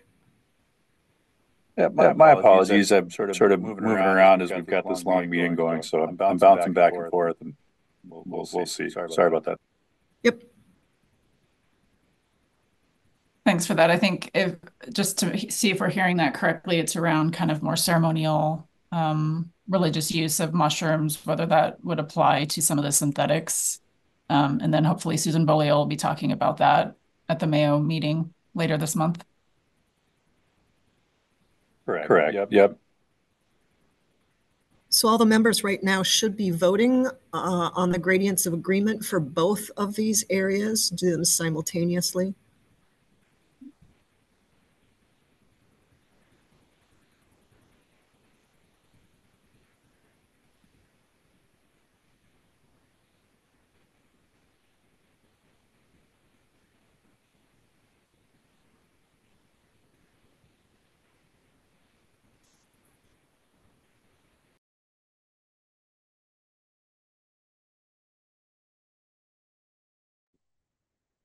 I'm glad you brought up the sort of ceremonial and religious use, Guthrie. Another member um, mentioned that as well, um, sort of offline.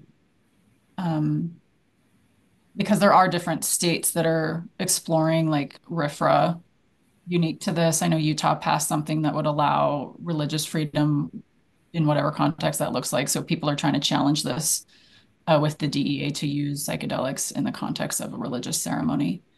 Um, so whether that happens as its own thing or it's sort of allowable under decrim is sort of unclear at this time. I don't know if others have thoughts on that. Yeah, I would just like to chime in a little bit just because I've been doing a little just research into it. And I understand that, you know, while uh, RFRA was originally a, a federal um, statute, um, it was limited then in 1997 to, um, uh, it, it, was more broadly, and then it was limited in 1997 to just federal um, organizations. And so as a result, 21 states now have passed their own RFRA legislation or statutes. And I, I just would like perhaps to have some time at a future meeting or in our work group to talk about what that means to have your own state uh, uh, RFRA and how, if that's something we want to look at.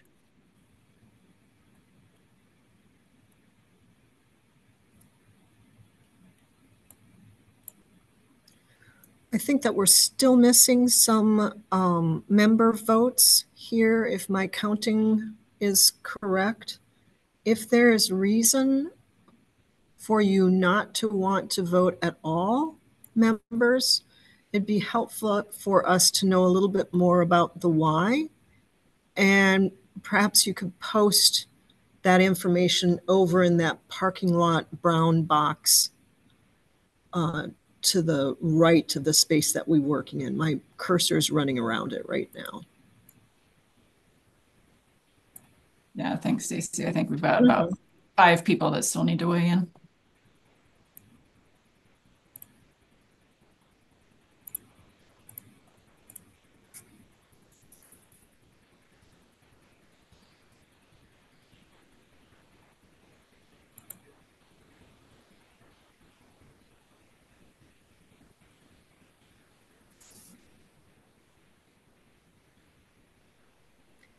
If we get down to one person remaining, uh, Nick Leonards is in a meeting until oh. from 11 to 11:30, but he said he would be monitoring and okay, uh, adding his input.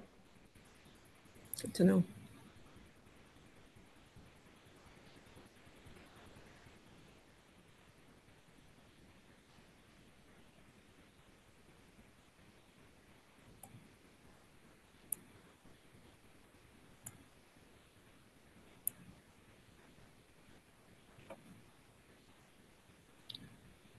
And Jessica, it's up to you when you're ready to move on.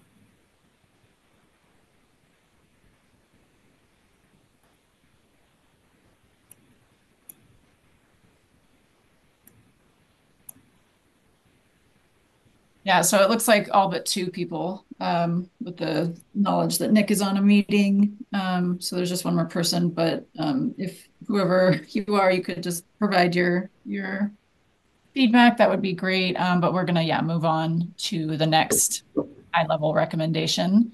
Um, I'm gonna skip recommendation two for now because based on what we talked about last month, um, there was pretty much unanimous support for more research and that really is something that's already legal and and able to be done. Um, designing a clinical trial just involves working with the FDA and the DEA and an ethics committee, IRB.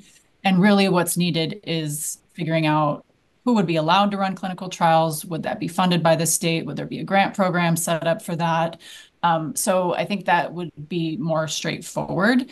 Um, and so I think for today, the purposes of today's meeting, I'd like to move on to recommendation three, which is around a state medical program.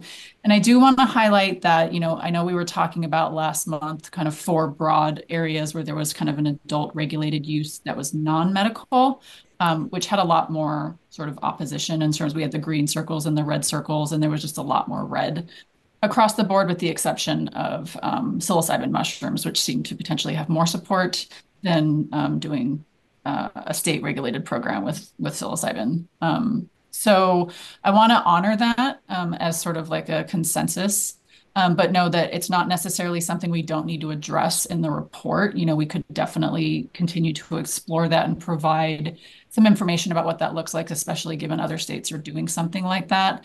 Um, but at this time for today's discussion, I, I didn't add it as something that we would be making decisions about, given that there was not a whole lot of support in general for that that pathway. Um, so uh, are there any thoughts about that before we move on to the state medical program high level recommendation discussion?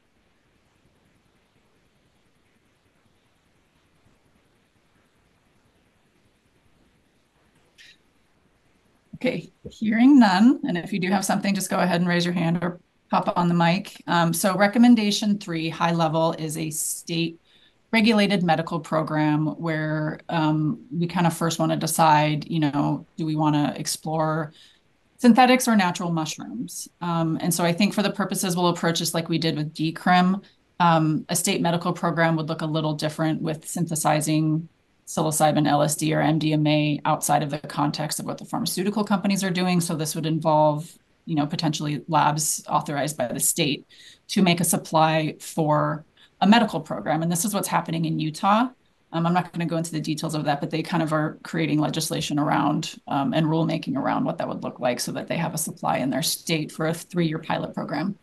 Um, so basically, what we want to do is figure out, you know, do we want to explore a medical program where people would be doing this kind of like the medical cannabis program um, for MDMA? Um, so we'll tackle this one first. Um, so again, going back to our SWOT analysis, from your perspective, what would be the strengths, opportunities, weaknesses, and threats of a state regulated MDMA program for specific conditions of mental health um, and other conditions that might be benefited by MDMA. So we'll give you about five minutes to engage with, with the mural on this activity. Thank you.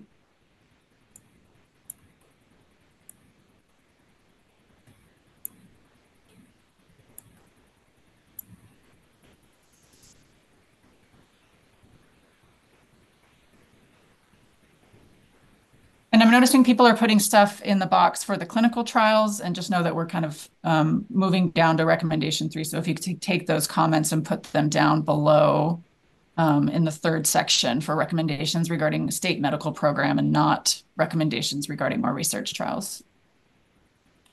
Quick question, Jessica. could you could you go where we need to go? I'm confused about where we're supposed to be. I'll just follow you. Yep, I will. Um, I will invite you to follow me. Hold on a sec. And just a quick question. I, I, I, think, is Utah the state that, that set up a medical program based on like one or two very specific hospitals where people would go into an inpatient setting and engage in a highly regulated medical model Yeah, that was that was Utah. Um, they this was in the last month, I think the legislature passed it and the governor signed it. It's it's basically the medical model for people who don't know, um, but only within a, a very few limited number of hospitals in the state. Right, right. So to talk about what a state medical program looks like, and then referencing our cannabis program and and Utah's model, they're like you know very divergent. And so I, I guess I I feel like I don't know what that would even mean to have a state medical model. And so, but that I'll write that down. I'll just need to, I'll write that in, in my little mural exercise. Yeah, yeah. It's sort of like what, what would be a threat or an opportunity or a weakness of that. Um, because, you know, each state gets to decide what they want to do. Um, and what regulations and statutes they want to put in place regarding that. For Utah, it was any psychedelic medicine that had been granted breakthrough therapy designation by the FDA, which is the three that we're looking at. But then there wasn't like a clear distinction on the supply. And so there's potentially labs that are being developed that are state run.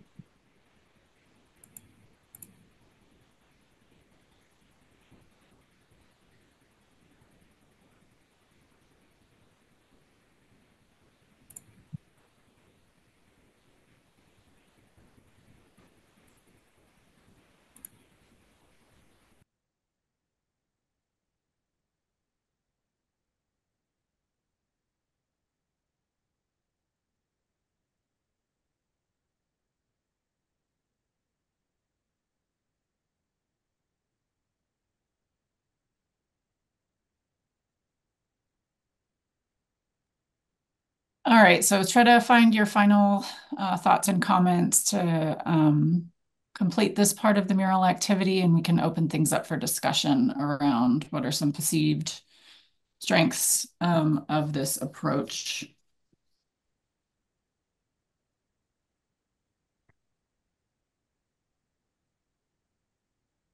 Um, obviously, access, being people to be able to use this in a clinical setting, not having to wait uh, for FDA to approve it and DEA to reschedule it um, are some of the strengths I'm seeing. Access, access.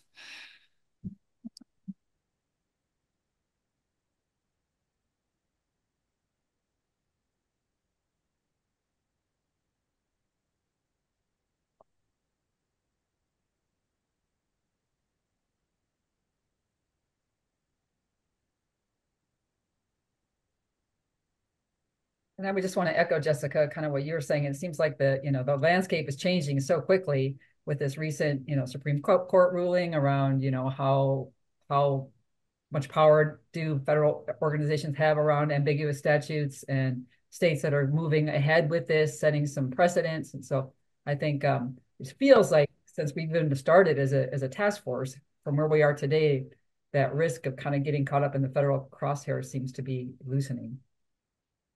Yeah, and I'm still not sure what the implications are going to be of that. I'm not a lawyer, um, and a lot of the lawyers I've been asking are just kind of hesitant to comment yet before they fully understand what the ramifications will be. Um, but a lot of those things, it's either like previous stuff and regulations might get overturned, but all of that I think is going to just clog up the the legal system with with litigation trying to change certain things. It's not just like, oh, automatically this thing will change. It's like you have to like then try to like for the right to try act for example they've been suing the DEA to say you need to allow us to use psilocybin in patients you know where we think that there's an unmet need here. And the DEA saying no. So that would have to go back to trial. They would have to like re re sue them. And now knowing that they are not allowed to make that administrative decision and it would be up to the judge to make that decision. So I don't know what that's going to look like with all of this. Hmm.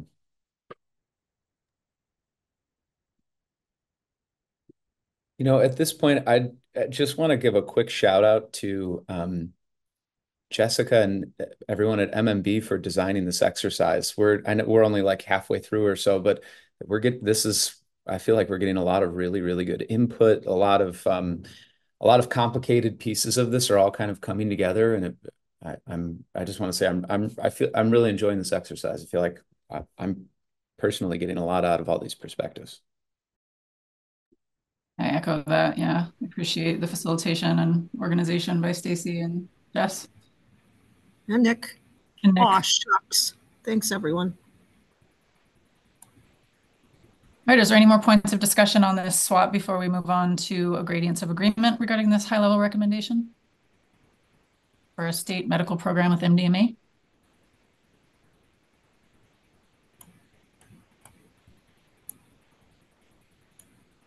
Yeah, it looks like some people are already down there, Jessica, so that's terrific. Great. All right. So we'll just move on to the gradients of agreement. Hopefully everyone can provide their feedback. Again, if you are leery or loathe it, please um, let us know why. What would get you to the love it, like it, or live it, live with it.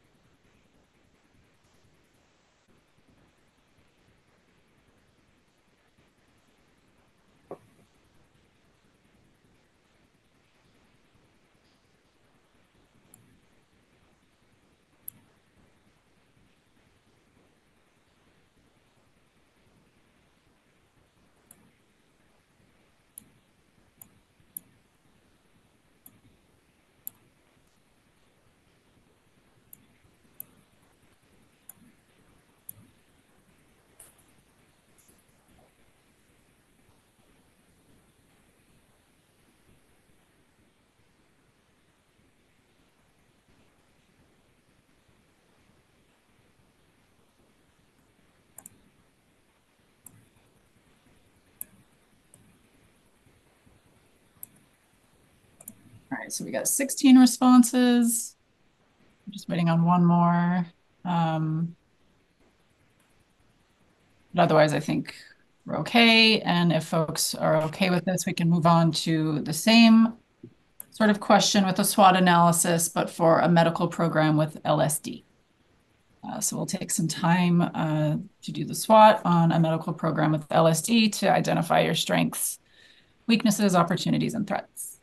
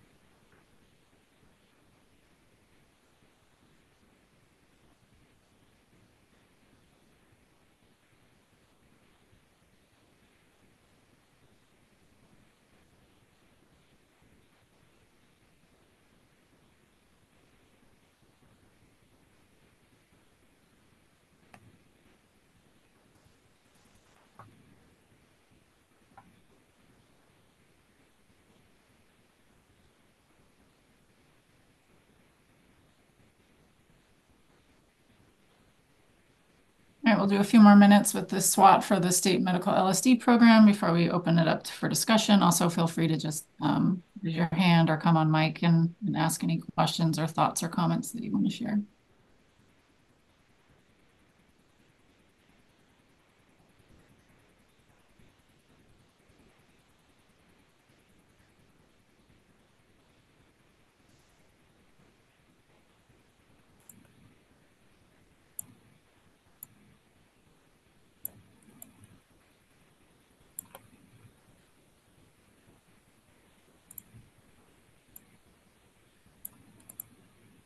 Say, I have a question for Carolyn um, or maybe Jessica. Uh, I can't remember, but I, I don't think is the is FDA considering rescheduling LSD at this point? I know there's trials that are in maybe phase three, but is that an open? Do, do we have any sense of like a timeline of rescheduling, or even if the FDA is even considering it for LSD? Yeah, so uh, they recently granted MindMed's um, psilocybin, or sorry, LSD for generalized anxiety disorder as a breakthrough therapy designation. Um, and so they're going to be starting a phase three trial this year. So it's a little bit farther off than psilocybin, which is like deep in the middle in the weeds of their phase three trials, both for major depressive disorder and treatment resistant depression. And then obviously MDMA will have some news next month. Gotcha. Thank you. It, it's there. It's just farther, farther back.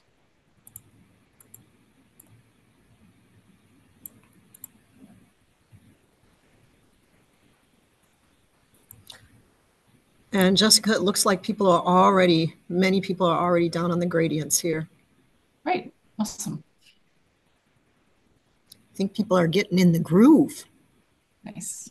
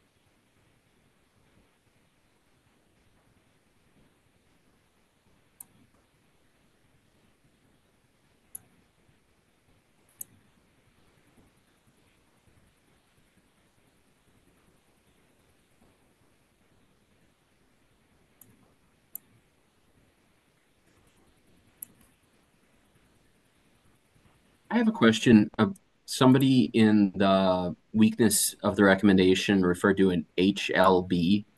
What is a HLB? State oh, Health Licensing Board. Mm-hmm. Is that it? Okay, thanks.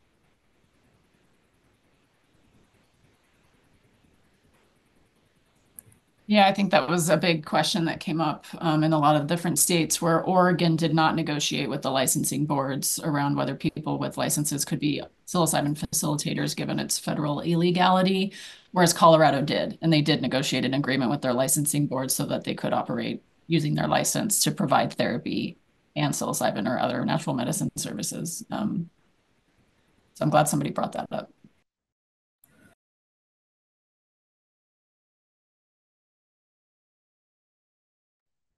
Right. Um, I don't know how many people have responded so far. Let's see. Uh, looks like 16.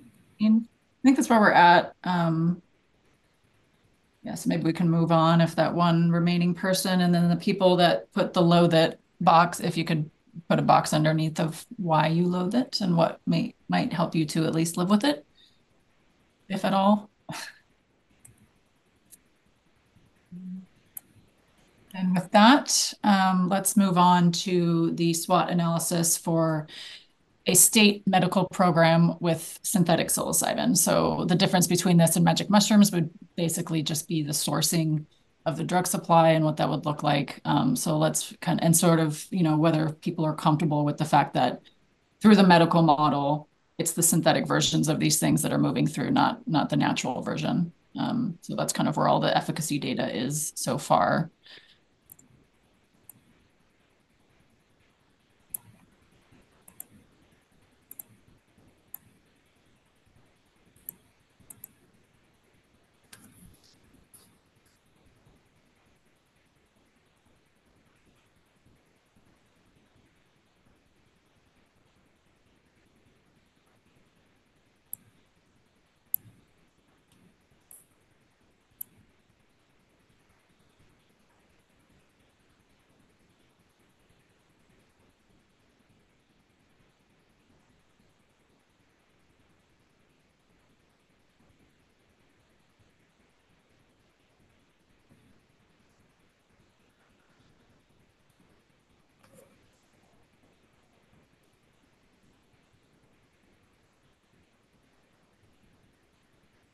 Well, Jessica, just easier to just go ahead and tell you, I meant, can you just restate what you just said about the efficacy?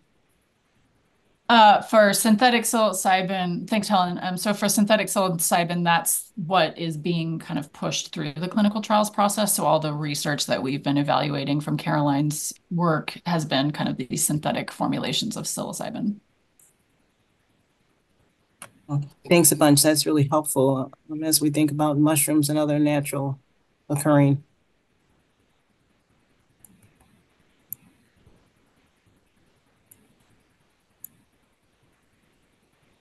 We'll say there is a lot of other, you know, research out there um, with natural mushrooms, and there is some new pharmaceutical companies popping up using naturally derived versions that have additional compounds that are showing some preliminary evidence to do more things in the brain, for example, than just psilocybin alone. Kind of a, like cannabis has an entourage effect with all the other things that are in it. Um, so, but but none of those have been formally run through a clinical trial um, thus far that we've been that we've reported on yet. So. Is that the actual terminology, entourage effect? I mean, would we really? Some people, some people call it an entourage. I've heard in the in the space when it comes to mushrooms and psilocybin, it's more of a symphony because it's not because entourage would apply that with cannabis, like THC is the dominant Uh-huh. ingredient and everything's kind of supporting it. Whereas with psilocybin, like there's a lot of other things in there and they all kind of act together. Um, and that just hasn't been fully worked out other than like the thousands of years of its use, you know, in indigenous communities and just recreational use for the last Yeah. many decades. Um, but it hasn't gone through this kind of formal, rigorous, randomized controlled clinical trial for efficacy. Interesting. Interesting. I think at some point Caroline mentioned, and Caroline, I don't know if you're on the call, around looking at additional research um, that isn't the RCTs around like population health and statistics and drug use patterns and things like that. Um, Yeah, I I have done that. I've put it in our preliminary outline, um, but I haven't sent it out to anyone, which I, I can do. It's also very long. I don't I don't write succinctly. I'm sorry. Um, but yeah, so we do have some population statistics around use, and the the use is more the natural um, mushrooms instead of you know the synthetic psilocybin. So I can send that out. thanks. I just want to briefly comment too about the level of expertise that our leadership has. Jessica, there has yet to be a question that you don't know the answer to, and and with the support also of the state staff, unbelievable that we have so many so much subject matter expertise in this room. Thank you. Thank you.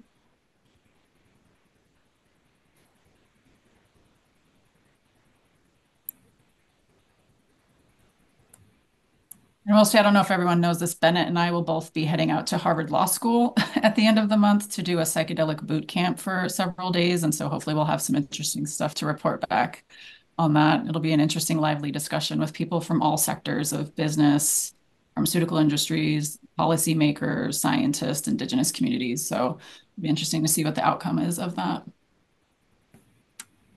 That's awesome. I'm glad you're both going.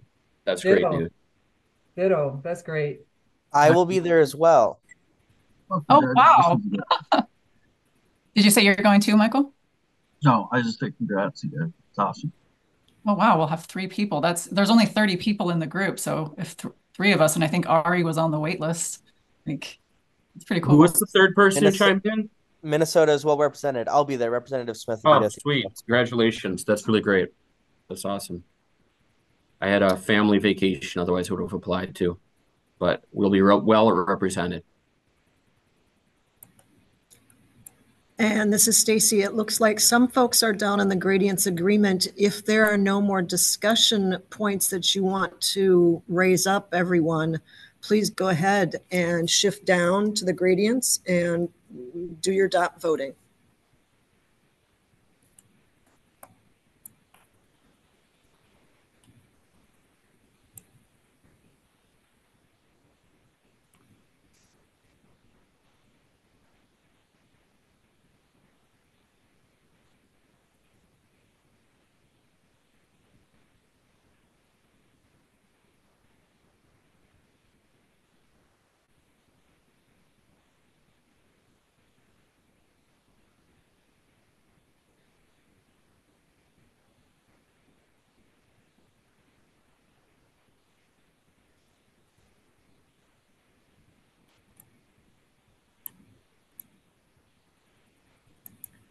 Some housekeeping with the gradients of agreement. I noticed there's 18 responses in the LSD gradients of agreement. I'm wondering if someone accidentally put their circle in in there instead of the psilocybin one. I think we have 17 people.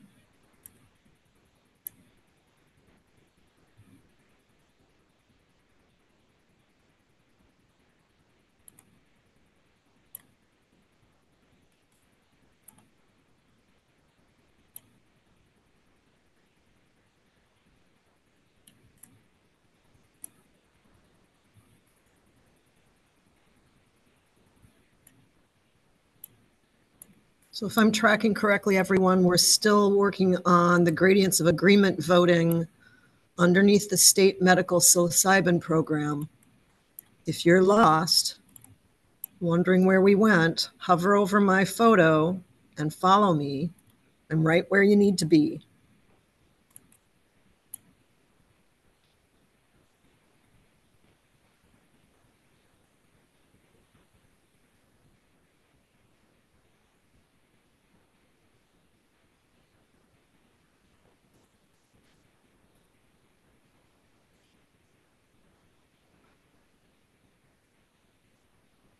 Looks like we're just waiting on three people to submit their gradients of agreement. This one.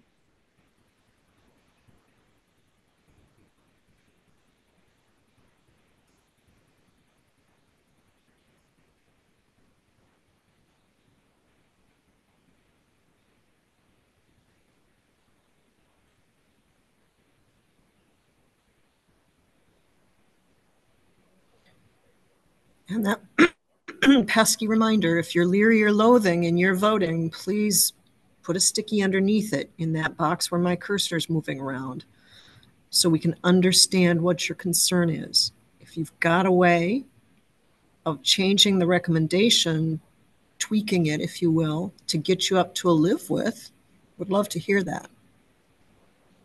And the work group will be using that to Mhm. Further refine the recommendations. So it is Yep. really important. Yeah. Thanks, Jess.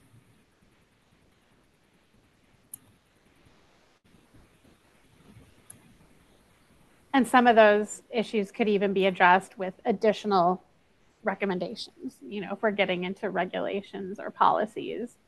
Um, so it is really important that you give a reason that can help folks move forward.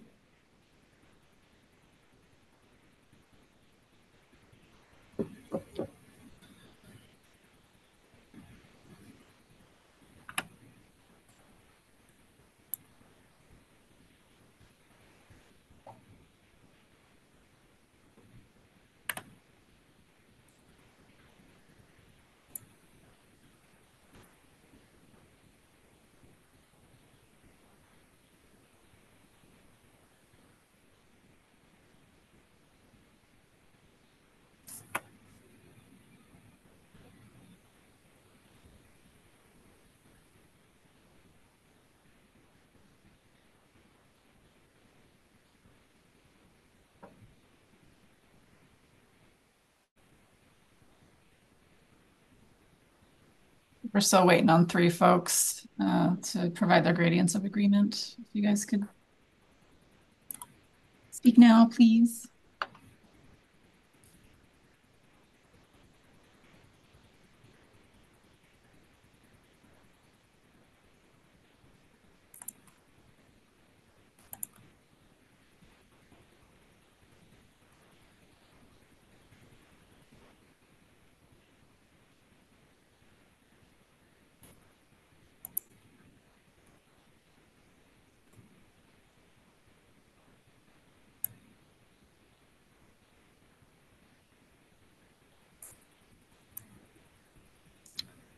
Uh, Meanwhile, looks like others that were finished with their voting are up over in the state medical psilocybin or mushrooms program, posting their comments on the SWOT. So if you have finished voting for the previous question regarding synthetics,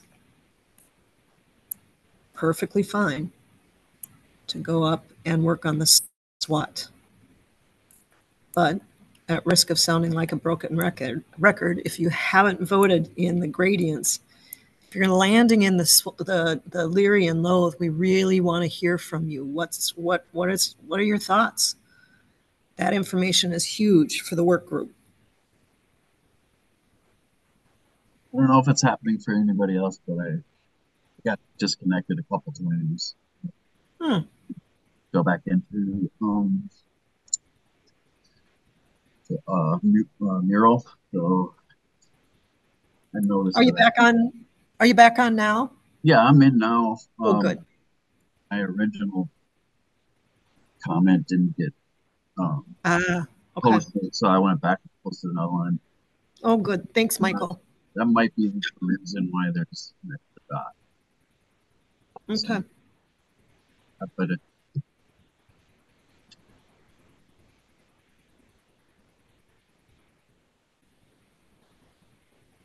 And the leadership team will be reaching out to those members that weren't able to participate today to make sure they get in to the mural and add their comments and add their votes so that we've got a full complement of feedback.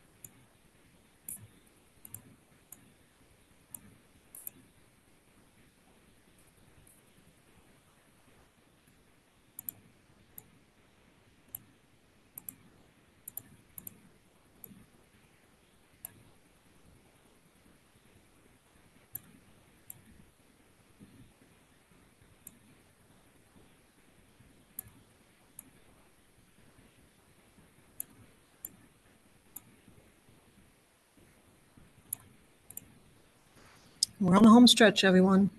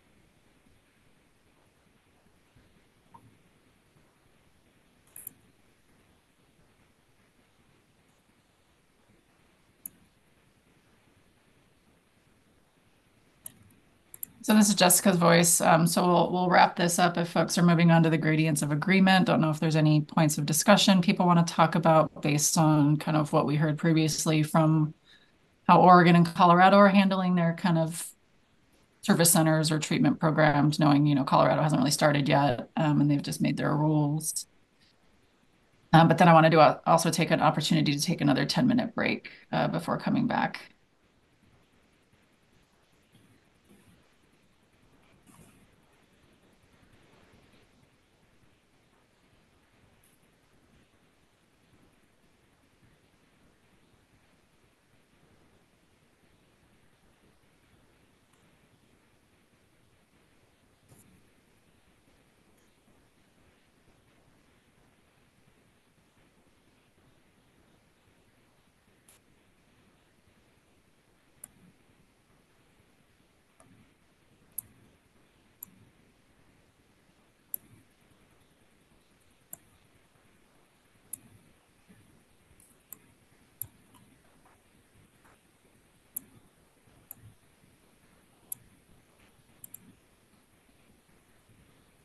I do want to give folks an opportunity to take another break. Um, so Stacy, if you're okay with that, we'll have folks. Yeah, just one point of clarification. When we do come back, let's just be clear on what is left to do here. Jessica, are, are you wanting to go in um, to that second, the research? Oh, I just missed a typo. Son of a gun.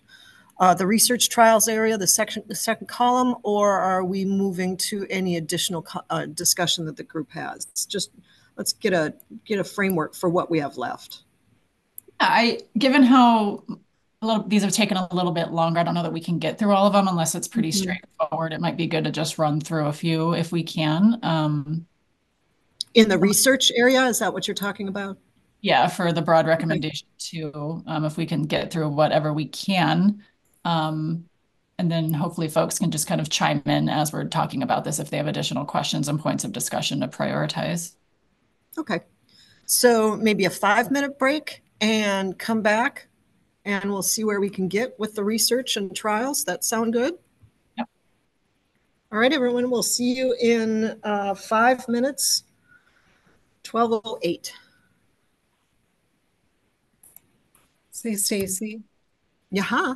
Um, this is Jill. We've got a, an, our new office manager starting today, so I'm gonna have to cut out of the meeting at this point and tend to his.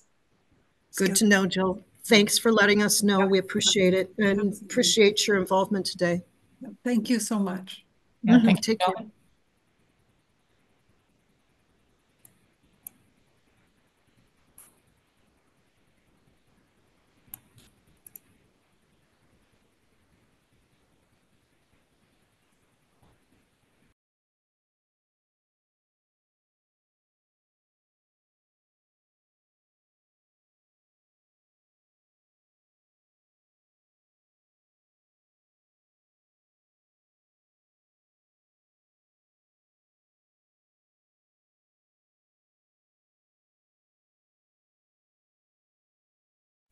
And if you can hear my voice, this is Stacy. We're going to start up in one minute.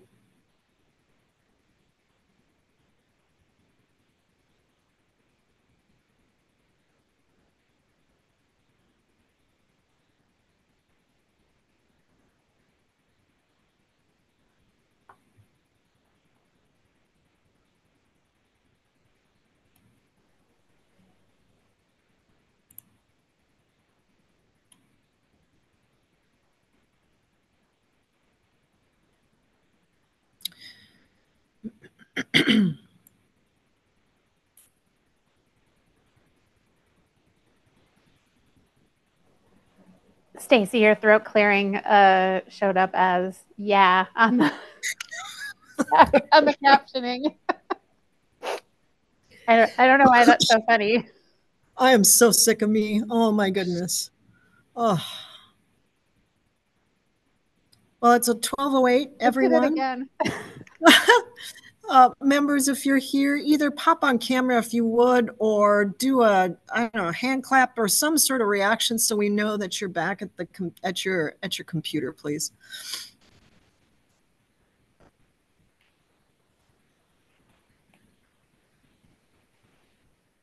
Thank you, Bennett. Thanks, David. Jessica, thank you.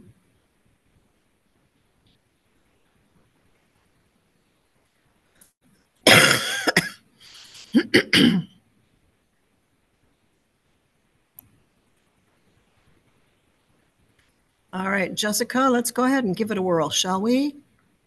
We just have about 10 minutes or 20 minutes left before we're wrapping up for the day. And so why don't you talk us through what where you want us to go next? Yeah, so if you could, Stacy, summon everyone to the SWOT analysis for more clinical trials with MDMA. So now we're kind of moving on to this broad recommendation number two, which from our exercise from last month kind of pretty much had almost unanimous support to explore more research trials with these psychedelic medicines. Um, so we'll start with MDMA and then we'll move on to the other substances if we have time. Um, and so this would be basically, you know, do we want to think about exploring what more research trials would look like with MDMA? Um, all of this is already legal, both in the state and federally. It's just sort of figuring out, is this something that we want to explore um, and, and recommend the state allocate funding for? Um, and there might be some additional downstream questions around who would be eligible to do the clinical trials and receive funding. Um, so just kind of keep that in your mind as we're working through whether we want to recommend more research trials with MDMA in the SWOT analysis.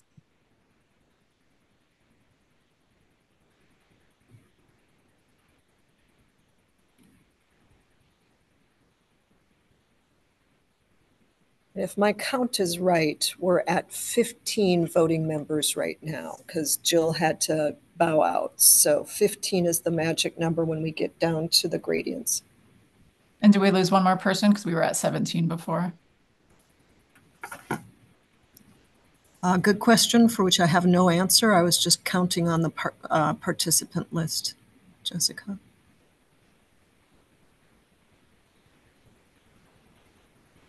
We did lose Guthrie. He, I think, always has to leave at noon.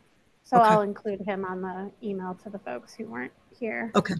Thank you. Asking them to add their votes and whatnot.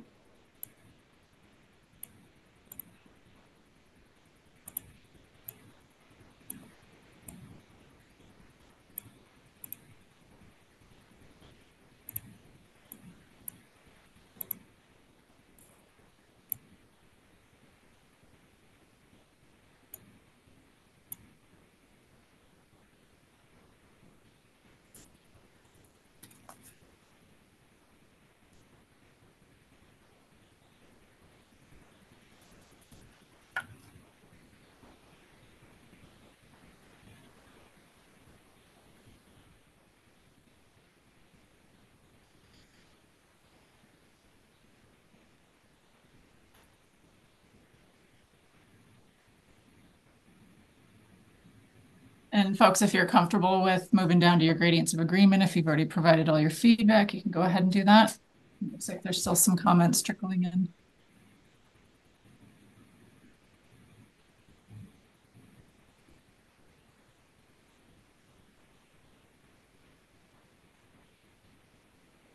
Um, one thing I want to note, just as I'm reading some of the comments on the more funding options, is that I, I don't think that we're considering these as mutually exclusive from each other, meaning um, it that it it the we're not we're not asking, I think, as a group, should we create a medicalized model for naturally occurring psilocybin? Should we decriminalize it, or should we call for more funding? It could be any combination of the three, right? It could be like the you know some you could you could vote and say I think we need more funding.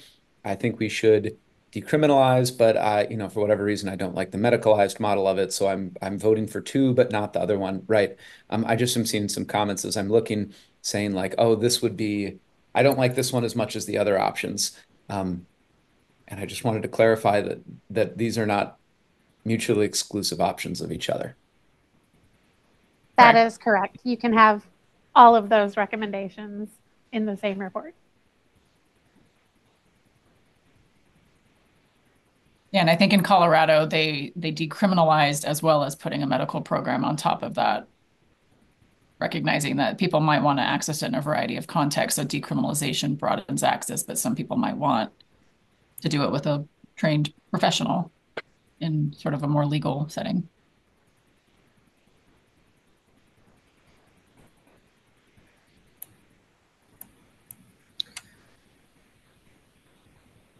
Jessica, uh, Jessica, is there anything else we want to pull out for discussion that's emerged from the SWOT tables? Uh, if not, uh, looks like people are down below doing gradients. Yeah, I think we've got a good amount of information. Um, we've got about 10 minutes left in general for the Mhm. meeting. So it looks like people are already moving over to the other boxes as Yeah. well, uh, which is totally fine. I encourage that, getting as much information as we can. Um, again, knowing that this whole process is already legal and any drug supply that would come would inherently need to have what's called an investigational new drug um, number with the Food and Drug Administration in order to be used in a clinical trial context. So this wouldn't be kind of an unregulated supply that hasn't been vetted by the FDA that doesn't follow good manufacturing um, protocol. For those that are familiar with that terminology. Yeah, Jessica, I meant to ask you this um, at the work group, but does uh, when you do these um uh, trials with the VA, are you able to do them on site at the VA or when they're in joint, like if it's a joint trial with like the university, is it where does it take place? Are you able to do it actually? in- So you're asking if clinical trials are happening at the VA and whether there's two sites Yeah, Um, so we haven't initiated anything yet. We have a we have a grant out trying to get money to do that, but the idea would be for the study you're talking about is doing it at the VA, and they have all the inpatient facilities to monitor safety and whatnot. And then it's just getting the VA IRB to approve the protocol, getting the money, getting the Schedule One license from the DEA, and getting the pharmaceutical product that has been approved by the FDA to be used in a clinical trial. So all that needs to happen for it to be implemented, and that can happen in any location that you know has the the facilities and resources to you know manage a schedule one drug in terms of like a research pharmacy so they can make sure it's kept under lock and key. And then they have the appropriate medical equipment uh, to monitor people it it theoretically can happen at both places. The va just has a lot more inpatient facilities for things like this. There is a clinical research unit at the u that is staffed with medical personnel for clinical trials as well. Oh, thank you.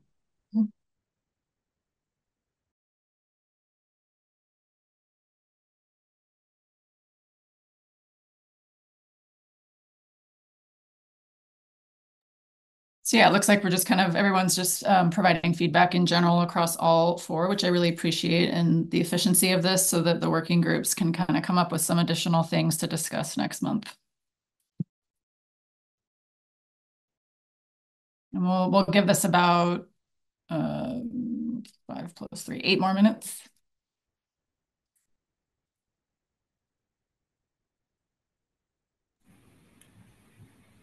Think at least from the MAD perspective, we wouldn't, um, we'd, we'd appreciate uh, maybe a minute or two of that time, Jessica, so we can just debrief the group and find out how this process has been working for them. Um, if they're feeling like they've had enough discussion time, enough um, opportunity to share their own opinion or vote or make their comments. So a little debriefing would be great. Yes, maybe we give this just one more minute and then we'll open it up for discussion and debrief so that we can kind of close out by twelve twenty-five. Terrific.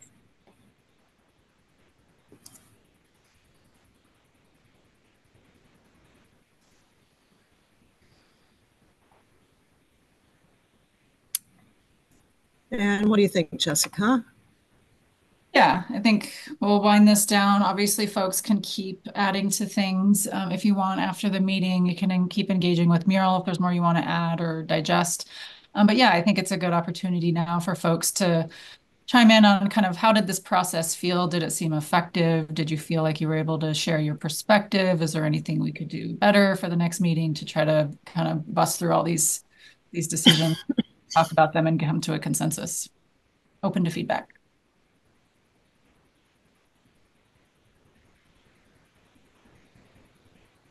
Hoping for feedback, Hoping for- wanting feedback. Please give us feedback. I will say, um, Bennett, thanks for bringing that up with the uh, either or situation because I, after reading some of the comments, I was starting to question some of the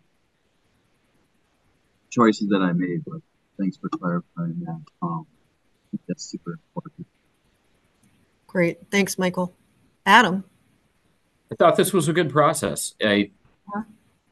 Think that we are able to have a discussion and have a conversation with a lot of people speaking at the same time Mhm. in a way that I, I don't think we would have been able to do if it was just a conventional conversation where one person speaks at a time and Mhm. addresses or responds to other people's comments. So I like it. Thank you.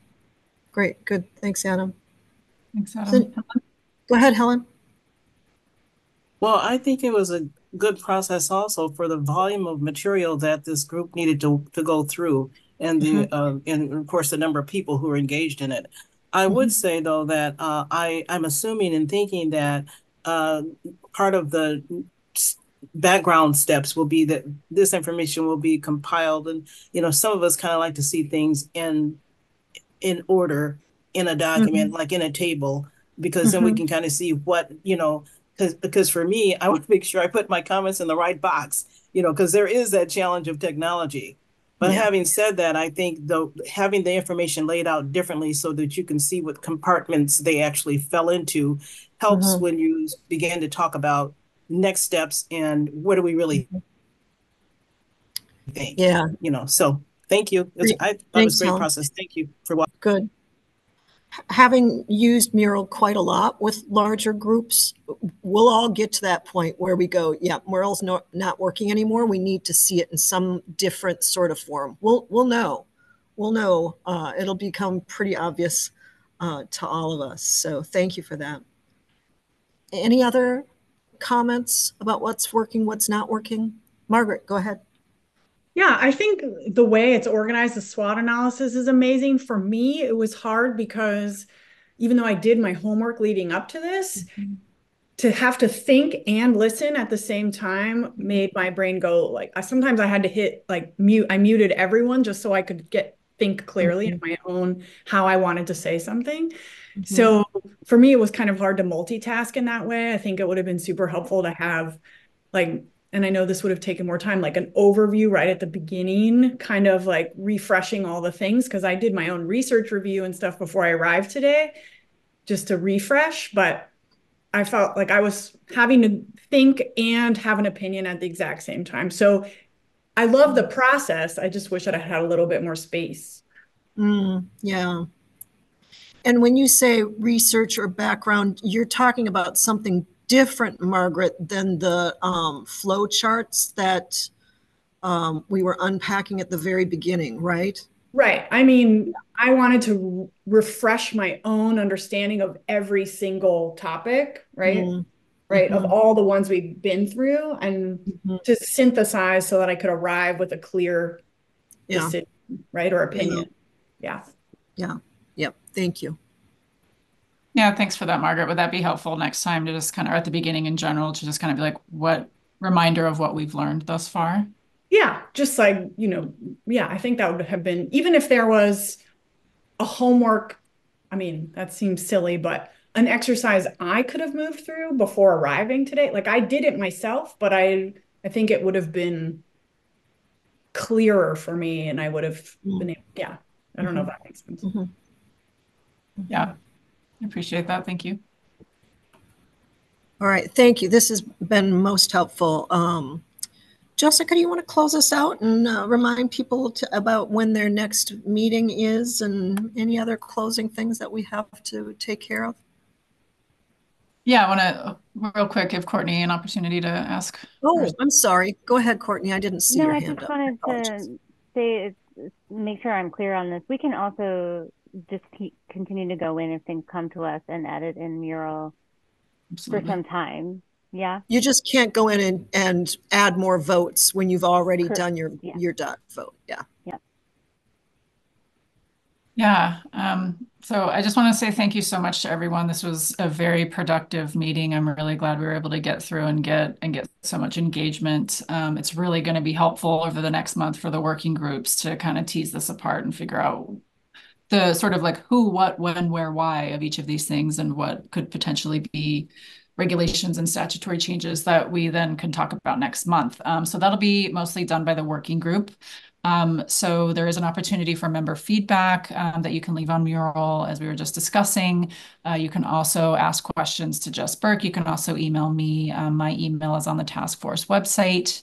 Um, our next full task force meeting will be Monday, August 5th. Um, same time, same place. Um, and then there will be two working group meetings this next month on the second and fourth Thursday of the month um, from 4 to 5 p.m. Um, and we'll be doing a lot more work um, on all of this feedback um, and being able to figure out how to integrate it and come up with more uh, decisions, decisions to talk about and getting closer to actually making official votes on what our final recommendations will be moving forward and starting our writing of the report. Um, so thank you all so much for your attention and engagement. Thank you to the people watching um, on YouTube for your attention. Um, and we look forward to seeing you next month at our next meeting. And thank you all for attending and have a good rest of your week and month and 4th of July celebrations. Bye. Bye, folks.